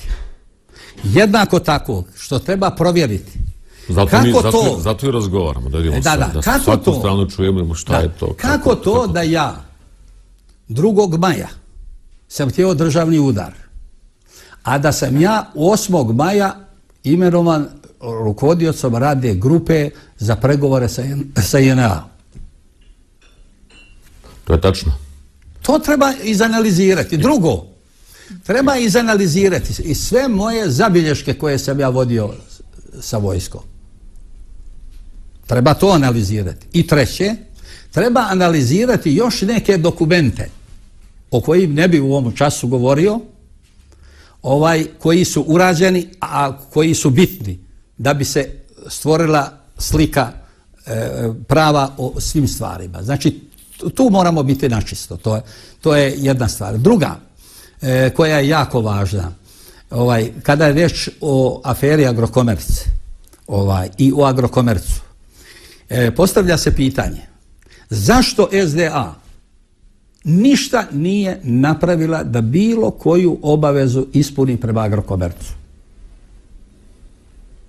Ništa. Dakle, sve što je obećano, a meni su govoriti ti treba potpisati ugovor. Pa ako može izgovoriti, ali je iz ugovor, pa 400.000 ljudi nešto i ne sprovesti. Šta znači ugovor koji ćemo on ja napraviti? Ništa nije ispoštovano. Mi nismo dobili jedan kredit. Ja sam bio član predsjedništva, zadužen za privredu. Dobre. To je takva bila blokada koju treba utvrditi i vidjeti da bi se izvršile ovaj sve ocjene ovaj, i procjene. Molim vas, 2. maja uh, mi smo imali jedan dijalog nas dvojica. Ne znam da li u velikoj svetlini, ja sam u to dilemi 20 Nismo godina. Nismo imali mi nikakav dijalog. Imali smo dijalog dok je, dok, kad smo izgubili vezu sa Izetbegovićem, nas dvojica smo razgovarali. Ja bih da ga preskočim, nego ostavimo za, za neki sljedeći intervju. Morat ću napraviti još jedan intervju. Da, ne, ne, možemo, nije to problem. Ali vi zaista posle 2. maja ostajete u predsjedništvu Bosne ja i Hercegovine. Ja ostajem u predsjedništvu. Ostajete u Sarajevu. Jeste. E, postoje sumnje da ste tu učestvovali u državnom vojnom udaru i tako dalje, ali ne, ne čvrste, ne bez dokaza i tako dalje. Kasnije se to formira kao mišljenje, dodaju ste oduzimaju činjenice, ja sam toga svjedok. I onda vi napuštate Sarajevo i dolazite u, kako vi kažete, zapadnu Bosnu. Jeste, u zapadnu Bosnu. Samo ja i meteorolozi smiju izgovoriti zapadna Bosna. Ja, zato što ja baratam tim terminom, zato što ste vi dali tom ovom dijelu Bosne i Hercegovine Jeste, to je zapadna Bosna. ime zapadna Bosna i dali ste mu još prefiks autonomna pokrajina. Jeste, točno. I to je ono. Šta je razlika između autorne pokrene Zapadna Bosna, između Herceg Bosne, Hrvatske, između Republike Srpske i šta je ovaj ostatak u ratu bio uopšte, ne znam, ne znam, eto, Republika BiH. Prvo, autonomna pokrajina Zapadna Bosna je privremeni oblik organiziranja. To je prvo. U zaglavlju postoji eh, Republika Bosna i Hercegovina, autonomna pokrajina Zapadna Bosna. To je prva stvar. Druga, Zapadna Bosna, autonomna pokrajina, nije ovaj formirana na bazi Republike Srpske i Herceg Bosne, nego na bazi Bihačke republike koja je bila u drugom svjetskom ratu. To je osnovica. Treće, ugledni ljudi, a nije još uvijek vrijeme, a neki su umrli, su bili s kojim se ja dogovarao, kojima je stalo do toga da spase Zapadnu Bosnu, da ovaj, i ja sam upravo zbog Republike Bihačke mislio da bude republika odma. Pa pošto sam vidio da se tako žestoko reagira, onda smo napravili jednu previnaku koja nije samo da je iza toga, a onda je to iskorišteno, to se vidio na suđen, da to ne govori, dakle, da sam ja išao korak dalje, da bude republika, da je dalje osamostili. Jednostavno se misli, ako je u drugom svjetskom ratu nije smetala Bihačka republika, da neće autonomna pokraja. Moj je cilj bio da ja sačuvam privredu tog područja i ljude, podvoj jedan ljude i privredu. Činjenica je da sam ja bio u pravu, mene je potvrda, uništena je sva privreda. Govori se o uništenju agrokomerca, nema kombiteksa, nema politilenke, sve je uništeno, da ne nabraja. Gospodine, znači da je to, molim? Gospodine Abdiću. Da, e sad idemo dalje. Idemo na glavno pitanje. Čuvajući narod, da, da smo ne sumnjamo vašu iskrene namjere, čuvajući da? narod, čuvajući agrokomerc, čuvajući teritoriju, čuvajući bošnjake, muslimane, srbe, hrvate, ko je već bio na tom prostoru, ali većinski muslimane. Ja? Nepobitna je činjenica da je u tom čuvanju bukvalno između sebe se doslovce pobilo i poginulo preko 3000 braća. E, to je pravo pitanje. To je suštinsko Prvi pitanje. puta. Najstravičniji moment bosansko-hercegovačkog rata jeste, da mu da kažem, međumuslimanski sukob. Da. Doslovce međubratski rat. Doslovce brat protiv brata. Da. To je stravično. Ja, ne, Ja se ja zalažem- ja ne mogu da formulišem pitanje kada Ja ću, tome govorim. ja ću odgovoriti na pitanje, ja znam što hoćete reći. Ja sam u želji da sačuvam ovo, poduzimo konkretne poteze ne proglašenja autonomije. Na to pitanje dobijam odgovor da sam ja ovaj nisam dobio vlast ja, nego SDA. I ja formiram stranku u ratu da dokažem da idem demokratskim metodom, da ja imam podršku kod ti ljudi. Dobro, ali nema izbora, nema ništa. Mislim. Nema, ima, ne, ne, ima. Ja, Jeste- jeste li svjesni u momentu Ja u- u zagazujem, startu ne, ne, da- ne, samo malo sažba. Ja zakazujem sjednicu, skupštinu osnivačku, na koji dolazi 50.000 ljudi u ratu, formiram stranku. Dok se pripreme vrše za stranku, jer se znalo da će dobiti glasove i tako dalje i trebalo je to ovaj preseći. Jednako tako ko što se znalo da svjedoke odbrane koje god ja predložim, ovaj, da, da i mogu predložiti ne znam koliko, pa nije usvojen ni jedan svjedok odbrane, pa je prvi puta od kardinala Stepinca, ja sam čovjek koji nije ni jednog svjedoka odbrane, a dobio je pravomoćnu presudu. Prvi puta. Jednako, jer se zna Dobro, da imam dobro, ugled. ste E sad dolazimo do, do ovoga. Tad se vrše represije na ljude koji idu na stranku da formira od strane petog korpusa po nalozima ovaj koje Atif Dudaković će morati reći, on kaže, ja sam vojnik, ja izvršam naredbu. Mene samo interesuje, odlašao sam 10 godina, 9 mjeseci i 2 dana, mene interesuje samo naredba. Ko je dao naredbu Dudaković? On nikad još nije rekao komu je dao naredbu. A ja znam da naredbu nema, da je bila sjednica predsjedništva i članovi predsjedništva se moraju izjasniti. I da je Tatjana Ljujić vrisnula, rekla pa ne kad je donosi ta odluka kako postupiti u zapadnoj Bosni. Razume, odluka nije donešena. A onda je Alija javio, vjerovatno, ali to mora Dudaković reći, ja sam obavješten o ratu na Johovici kao svi građani. Ja nisam pojma imao da je počela vatra. I kad je počeo onda je gotovo. Jer četvrtog je, desetog, ovaj, počeo sukob, a tek 12. je formirana narodna odbrana. Imaju dokumenta. A kako, gospodin Avdiću, vi kao čovjek koji svo vrijeme govorite o sebi, predstavljate se kao čovjek koji je oprezan, koji se povlači pred Alijom, povlači se pred SDA, neće da remeti Jeste. red u predsjedništvu, ma kako on bio naopak, nevjerovatan, neće da remeti predsjedništvo koje donosi kasno a, pogrešne odluke, Odluke, dijagnoze i tako dalje. Kako odjednom ne možete da predvidite da će, da će se braća pobiti? To je morao, mogao samo predvidjeti Alija, jer on je dao nalog da se oružano ide na Jovan. Ja pojma, ja da sam znao da će on oružano ići. A kad je počeo rat, pazi, rat ima svoju logiku. Kad je počeo sukob, to je gotovo. To je nepromišljeno, uporno se radi, ne znam koji razloga želi, a to se sakriti neće moći, želi se sakriti to, kao što se želi sakriti da su moji ovaj pripadnici zarobili Cerića. On nigdje nije izgovorio da je kao vjerski i oni pravila su kod zarobljavanja svagdje jednaka, razumije? I ja sam rekao odmah ga pustite. I Cerić je kao vjerski poglavar otišao ovaj u bolnicu i govorio, imaju ljudi koji mogu progovoriti šta je govorio. On je došao u Bihać i oslobodio Vardića i Pivića koji su prvi žrtve stvorene su tamo, oslobodio i poslao i na Johovicu, na ovaj rat. Zato ću reći to, rećete da to nema veze. Ima i kako veze. Kako dolazi... Previše je tu detalja. Ja Da. samo želim da vas držim na, na, na, na tome. Može, znači, može. kao savjesnog čovjeka, takvim se predstavljate. Čovjeka iskusnog, čovjeka koji poznaje ovaj kraj. Zna šta su ljuti krajišnici.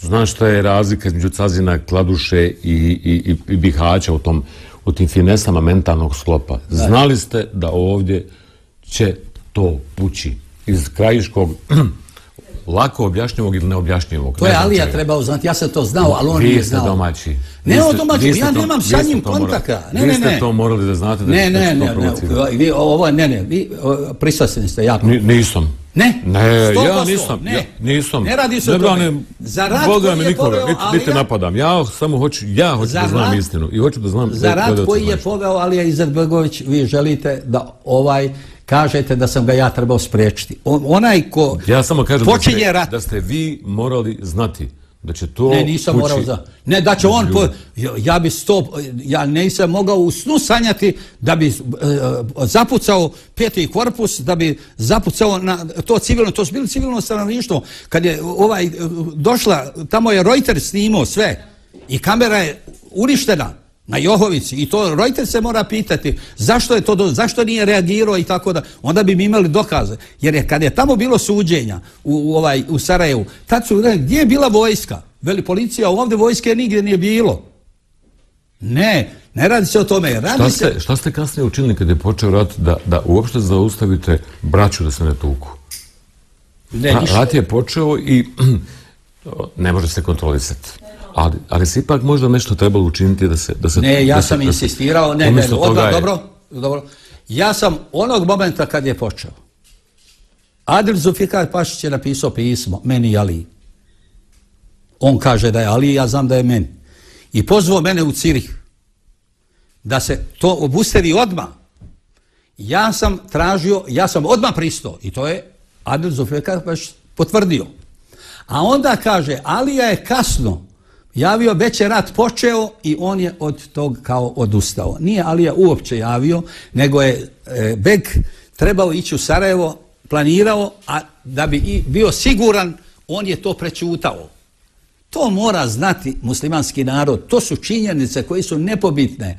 Ja, o, dakle, o, to se, ne- dakle, ja sam odgovorio na to.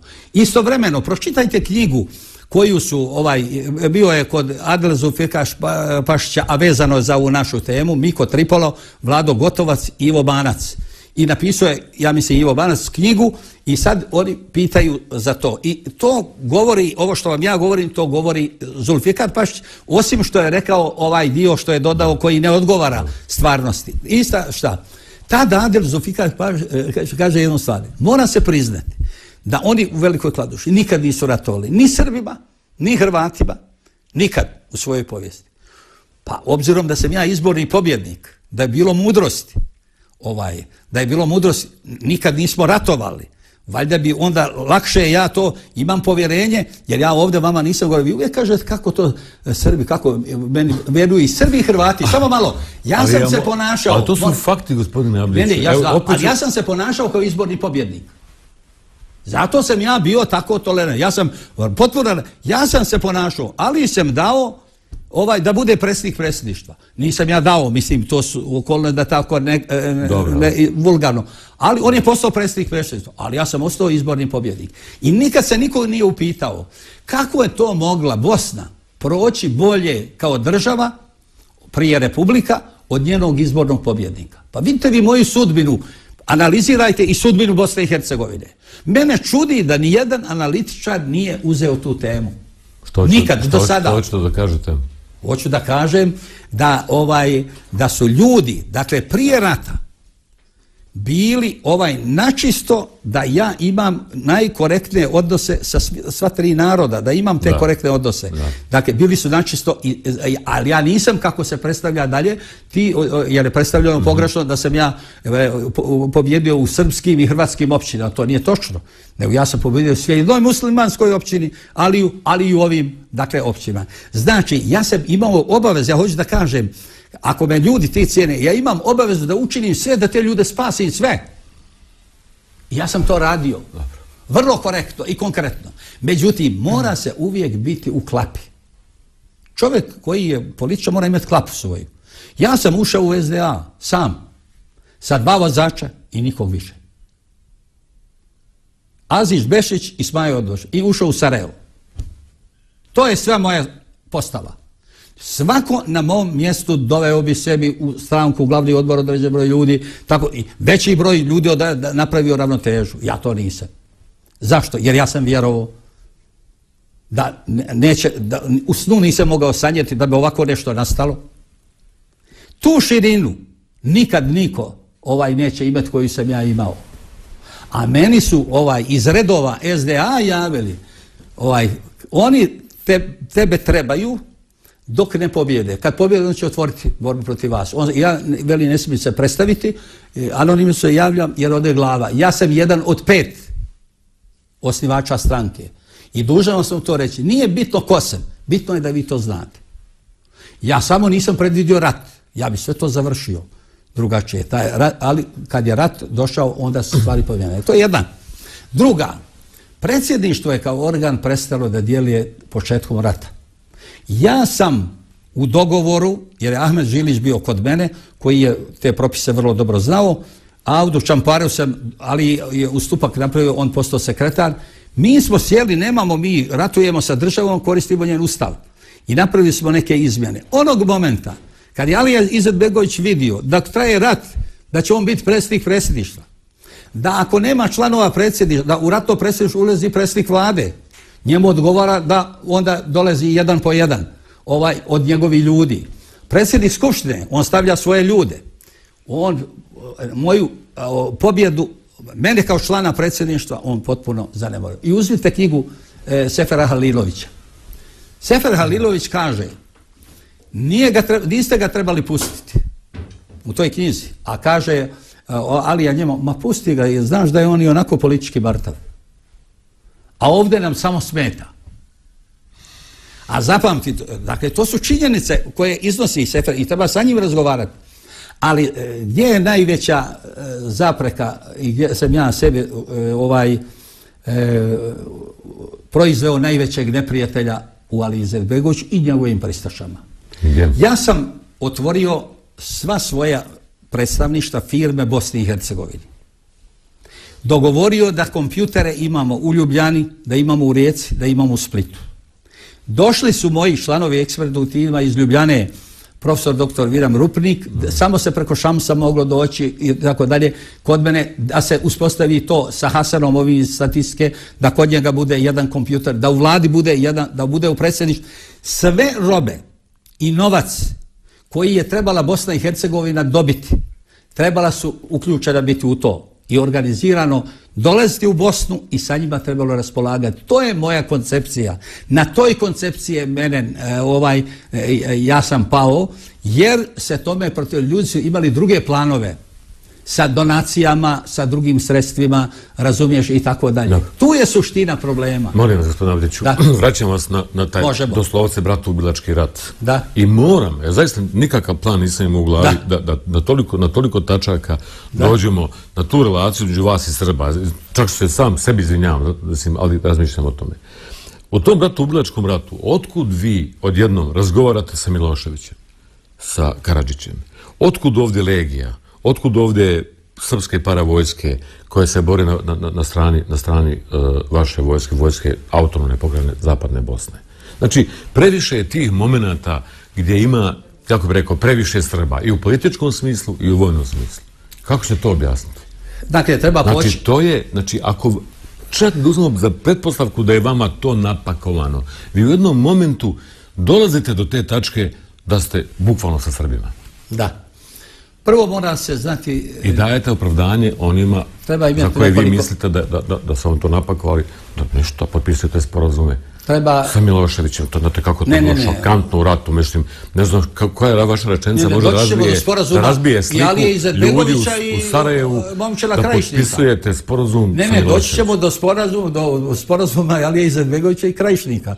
Ja nemam pojma što je on pregovarao sa Krajišnikom. Ovaj, I niko nema pojma, to je samo Alija razgovarao i to je kasnije izašlo, sad je to javna tajna, kakve je on pregovore vodio. Znači, to, e, tu moramo da krenemo. Prvo, ja sam potpisao izjavu sa Matom Bobavrom.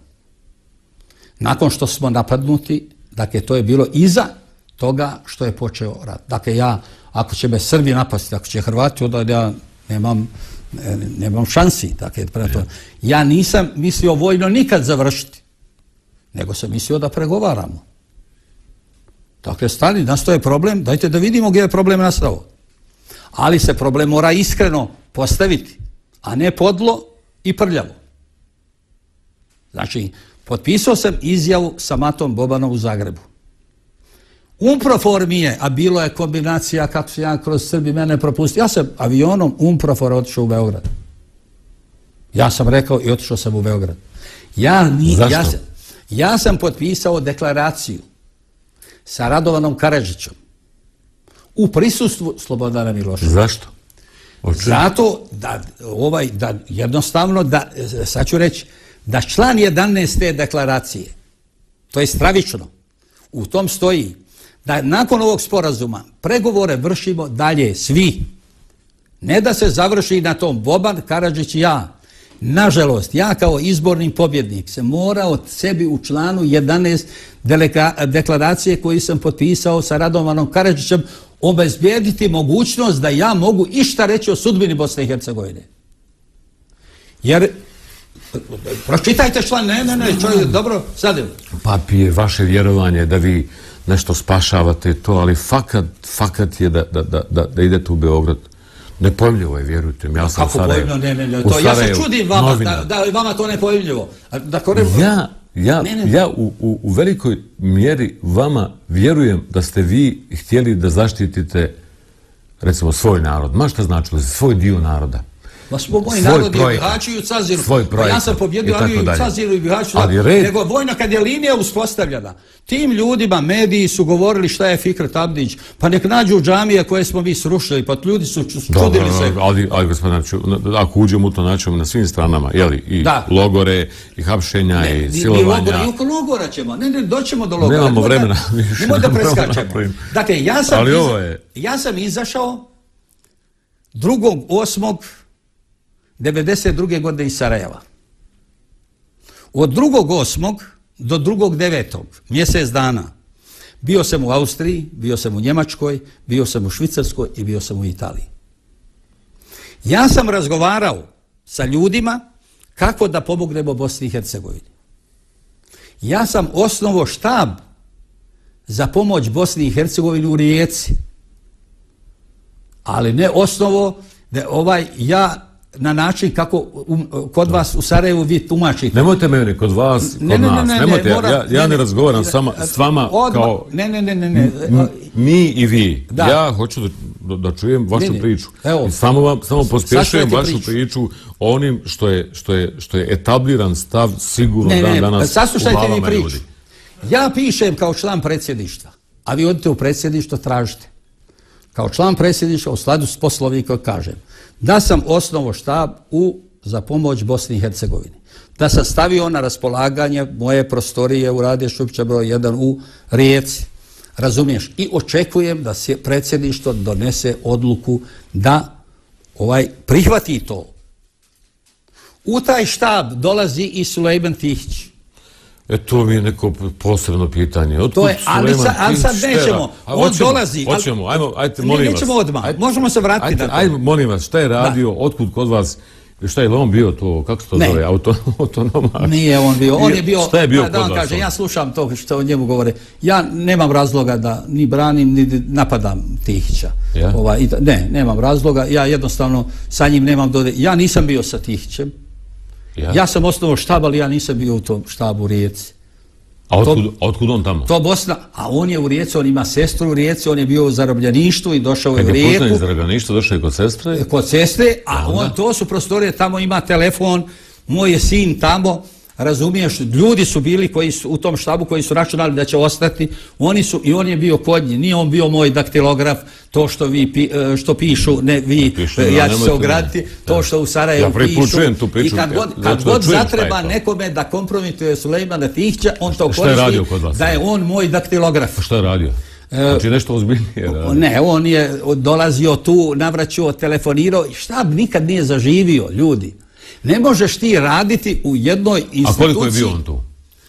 To ja ne znam jer ja to nemam uvid, jer štab sam ja smatrao da trebam registrirati, ja moram imati odluku predsjedništva.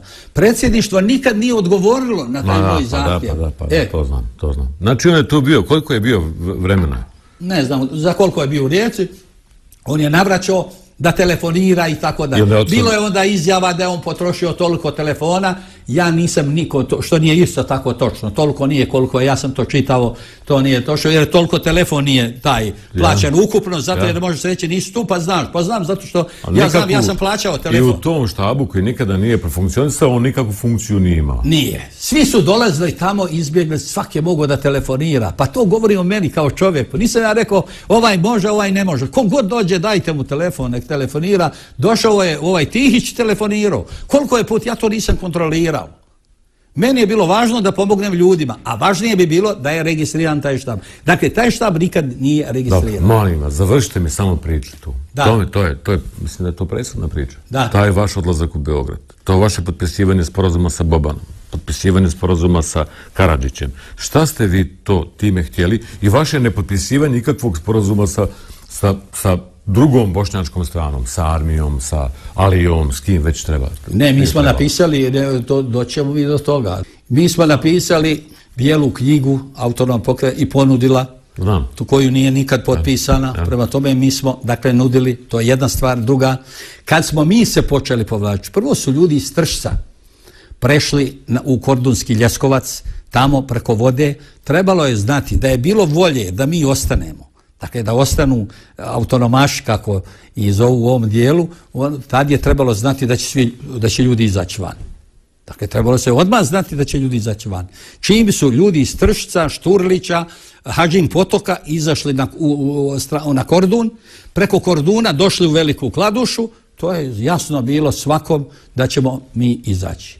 Dakle, i izašli smo. I sad, moji su, dakle, ljudi, mi, naši ljudi su u farmama Cetingrad, 12, to je 24 objekta su tamo, puna ljudi. Sve oko mojih sasušanja su farbe Dubrave, nekoliko farbi, sve to ukupno nije pola toga što je u Batnozi. Dakle, nije logor. Znači, bili su ovi ljudi u logoru i to duže mnogo. Dakle, koji su izašli van. Dolaze ljudi iz ovaj sada sa Kordura, iz ti, e, ovaj područja, dolaze u Veliku Kladušu. Sami svjedoci kod mene govore, oni su imali njihova država bila samo 4 km.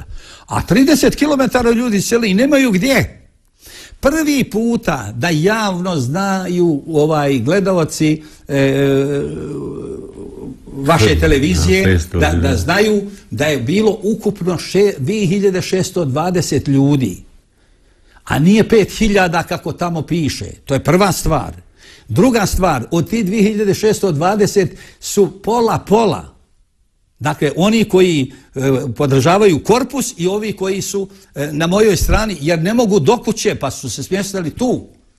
Prema tome, da, dakle, to, mi smo po Ženevskoj konvenciji dužni da te ljude ovaj obezbede. Drugo, mi nismo smjeli dozvoliti ljudima da uđu u kuće, jer te su kuće odmah naseljene. Uzeti su televizori, ljudi se svađali, tukli. Dobro, ali to sad ulazite, ulazite u ono što je haos ratni koji je tako teško objasnite ko je tu dobar, ko je kriv, ko je više ne, ne, dobar, ja ko je manje kriv i tako dalje. Da, svi svjedoci nam svoj kažu da je 75% stanovništva izašlo. I sad mi kad smo se vratili, Znate što, ja vas kad, kad, kad slušam, evo svo vrijeme i teška riječ, ali da skratim sebe, dopuštam da sebe predstavite kao ličnost. I, I vi to uporno e, radite, e, predstavljate sebe kao čovjeka koji se povlačio, koji ima neku urođenu dobrotu u sebi. Da? Neću da diram, neću da smetam, ne vjerujem da će me SDA nešto loše uraditi. Evo u predsjedništvu puštam Aliju, evo u redu je, evo ja se povlačim. Dođe do zaključka da, da ste vi dobar čovjek. I sve to kad se sabere, je li to isto, gospodine Abdiću, kao da ste i naivan čovjek? Ne, nije to. Treba... Stalno vjerujete da, da, da će se to nešto riješiti? Da ne, ja sam, uvijek, ja sam uvijek vjerovao... A u stvari se u, u, ulazilo se sve dublje i dublje, ko se u priču ulazilo sve dublje ne, jer se želilo vaše... da, da se ulazi dublje. Pazite, ja sam smetao ovaj fizički, zato je atentati su organizirani na mene. Jer ja sam jednostavno šta je, smetao... Što recite slobodno, šta je bila ta op, opa... Šta ste, šta ste vi bili opasni, koliko opasni, po koga opasni, toliko da vas se trebalo ubiti. Pa vi, na primjer, morate e, pročitati knjigu Plave kacige za ništa. Recite vi, samo da, da, je to? I, da, trebate pročitati i trebate. Ta je knjiga obustavljena. Po, došla je, grupa je došla koja je trebala doći radi moje likvidacije. To piše francuski pukovnik. Sve to. Razumiješ, i tako dalje. Suđenje i tako dalje. Je. Zašto ste Ne, ne, trebali ne, ne, biti nije ubijeni? suđenje, nije, ovo je prije, nema ni autonomije, dakle nema ništa. Prije toga ste trebali biti Da. ubijeni. Prvo, e, mi preskačemo s teme na temu. Ja sam izašao i rekao sam, bio sam u Rijeci i ulazim ja u zapadnu Bosnu. Ja dolazim u Veliku Kladušu, član predsjedništva, član vrhovne komande. Satelitski telefon ima predsjednik ogranka SDA. A ne Fikret Abdić, član predsjedništva, izborni pobjednik. Razumiješ? A to je potpuno jasno da SDA vas isključila iz... iz... Da, ne, ne, ne, ali ne može. Kako bi rekao? Pazi, on ima se, te, kaže, to je Pa to je, telefon eto, od eto, stranke. ali je rekao, on je politički mrtav. Znači, vi ste isključeni. Da, ali ko je njega ovlastio da u mene isključi? Dakle, objasnite vi meni. Pazite, ne, ne, da, di- A naime, objasnite i vi šta je uopšte i vaš legitimitet u ratu i njegov legitimitet u ratu. e, moj legitimitet u ratu je e, e, to da sam ja član predsjedništva i član vrhovne komande. I to on isto može da kaže. Mo- I on to isto može da kaže. Ali, govorio je. Ja pišem... I vi ste to govorili? Ja, Samo malo, ja pišem informacije predsjedništvu, a on ne izdosi te uh, informacije na sjednicu predsjedništva. A po poslovniku radi, on ne može zabraniti da informacija dođe. Rasprava se mora obaviti na sjednicu predsjedništva i on mene mora obavijestiti oko toga. Ja šaljem 11 informacija o kretanjima, o stanju u Bihačkom okrugu. Oni to ignorišu. Ne, Šta? on to ignoriše. A zašto su vas tako kasno, da tako kažem, izbacili, da tako kažem, iz predsjedništva? Zašto to nisu radili 3. septembra 92. Zašto nisu radili bilo kojeg datuma? Zašto su vas, kako rekao, pustili da tako dugo budete član predsjedništva? Pa oni, A takva je bila situacija, takvi su odnosi bili, bili među vama. Oni nisu mogli donijeti odluku. I ni ova odluka. Treba znati. Ja imam zapisnik, ni danas ne znam kome je ga poslao. Dakle, stenogram sa te sjednice Dobro. kad sam ja smijenjen. Mene je smijenilo 69 poslanika. Miro Lazović, on mora reći, vi njega morate pitati, on ne kaže e, ko je za, ko je protiv, ko je uzdržan, nego samo ko je protiv i ko je uzdržan. Nema ko je za. Tako je odluka. Uzmite zapisnik, pročitajte. To je za, I u tom, toj, je, u tom zapisniku Prskalo kaže njemu, on nije glasao da, za moju smjenu, pa kaže, evo, izašao sam ja, mislim da je, meni je Haris Silažić objasnio, sad je meni jasno, neka su humanitarne stvari u pitanju, pročite treba što on kaže. Znači, kako je ta donesena odluka? Pa me, prvo, mene je izabrao narod, građani me izabrali. A smjenulo je 69 ljudi od koji niko i nijedan od tih nije se pojavio na govornici kad je SDA dobivao vlast. Dobro. Rat može im se hoće uradili. A zašto dotad nisu uradili? Zašto, zašto dotada to nisu uradili? Koji je to bio datum tačno? E, to je bilo 29, 28. i 29. 9. 93. godine. Septembar, kraj septembra kraj 93. godine. Jeste. Zašto vas baš tada smjenjuju? Zašto ne prije? Gdje ste godinu dana što od su- odlaska iz Sarajeva? A, Godinu i mjesec ne, ne, dana. ne. Gotovo Zato što su iskoristili UN jer je trebalo da se donese odluka da se prihvati ženevski sporazum. To je pitanje pravo. I dok Znam ja, su... znam ja šta pitam, ali niste vi mene upratili, upratili šta ja pitam. Jesam ja, da. Oni su došli, tad su održali sjednicu, iskoristili su tu sjednicu, tu, ali ni to što su iskoristili nije legitimno.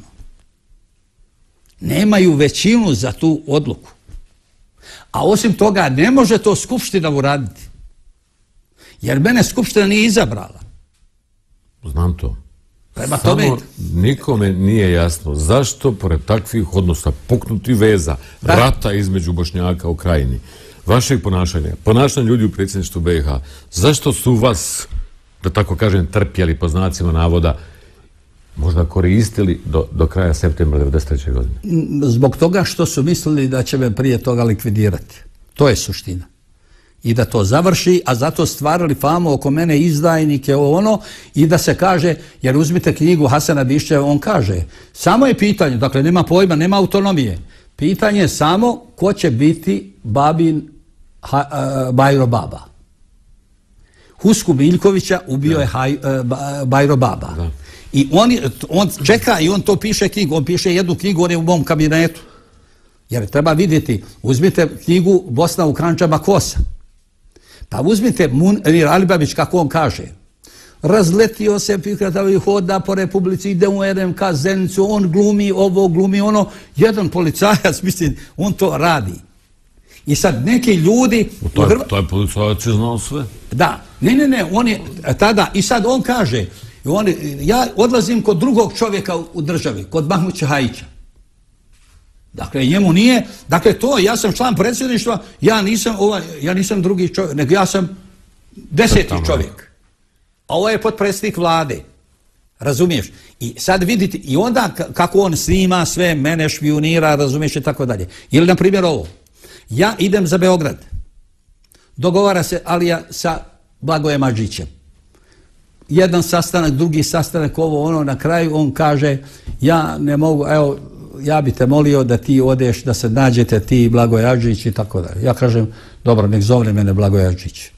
Ovaj, ja sad. I sad on hoće ovdje, on se dogovara u Skoplju i tako dalje. I ja odem u Beograd. Još je to moglo se, avioni su bilo, postaće avion, ja odem u Beograd.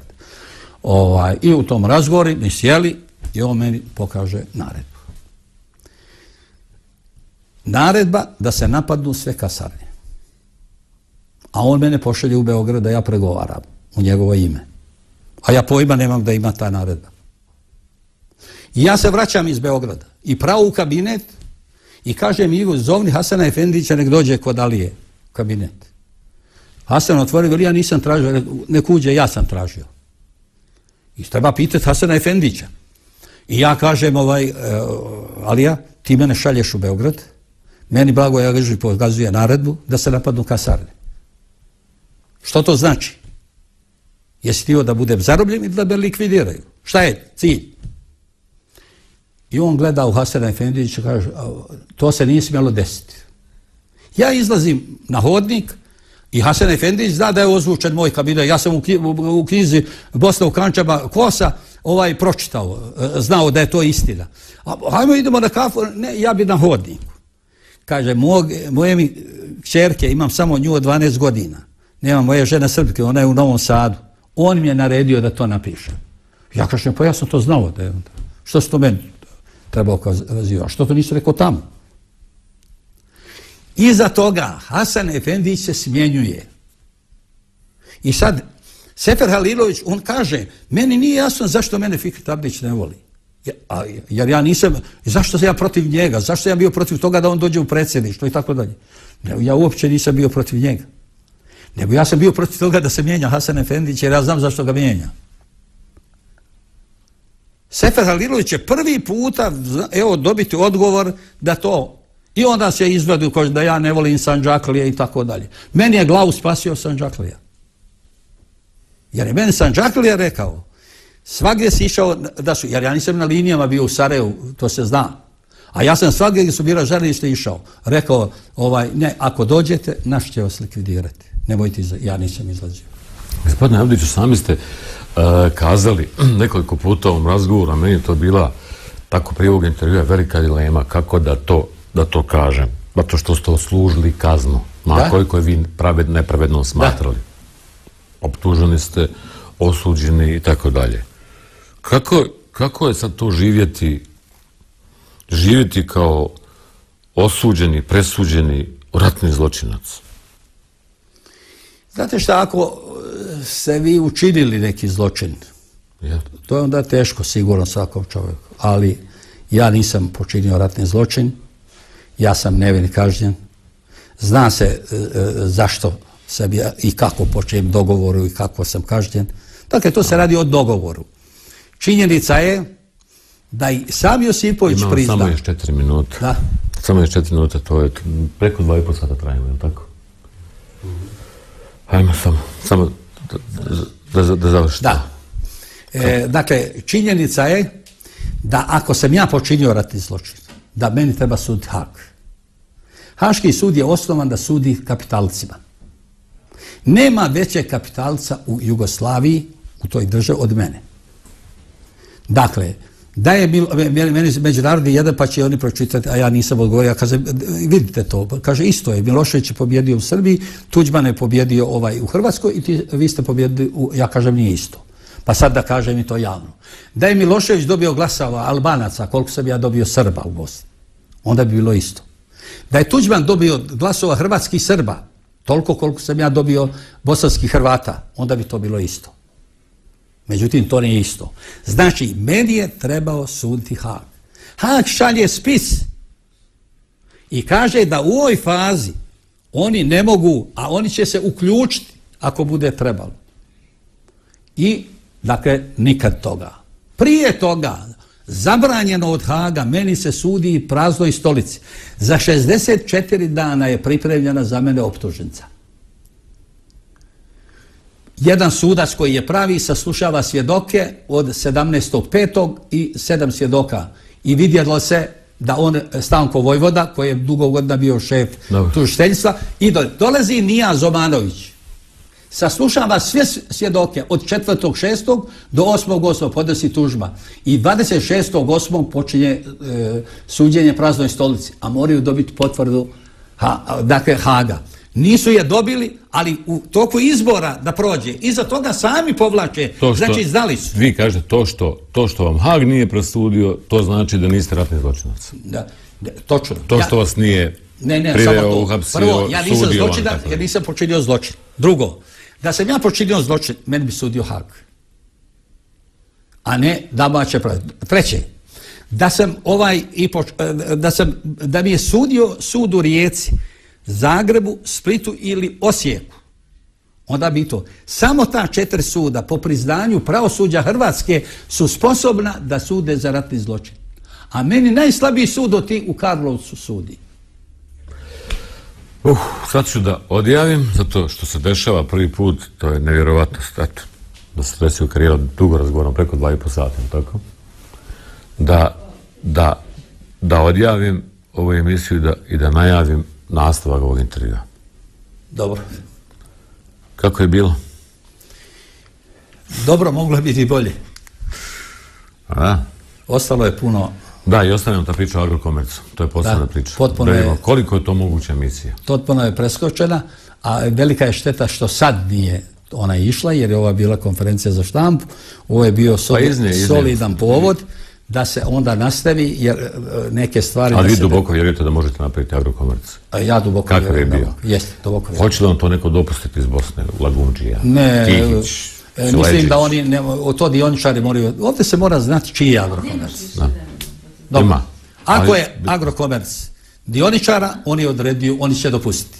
Ako je on ovaj... E, A ako država ne odluči da to bude... Ne, država ne može, ne može. činjenice su. Ba, oni... Ka, zna se kako je nastao. Kako vam to rekao? Mi države nemamo, da. ali ona sve može. Da, da mi završimo do sada, pa ćemo, moramo to... Da. Evo. Uh.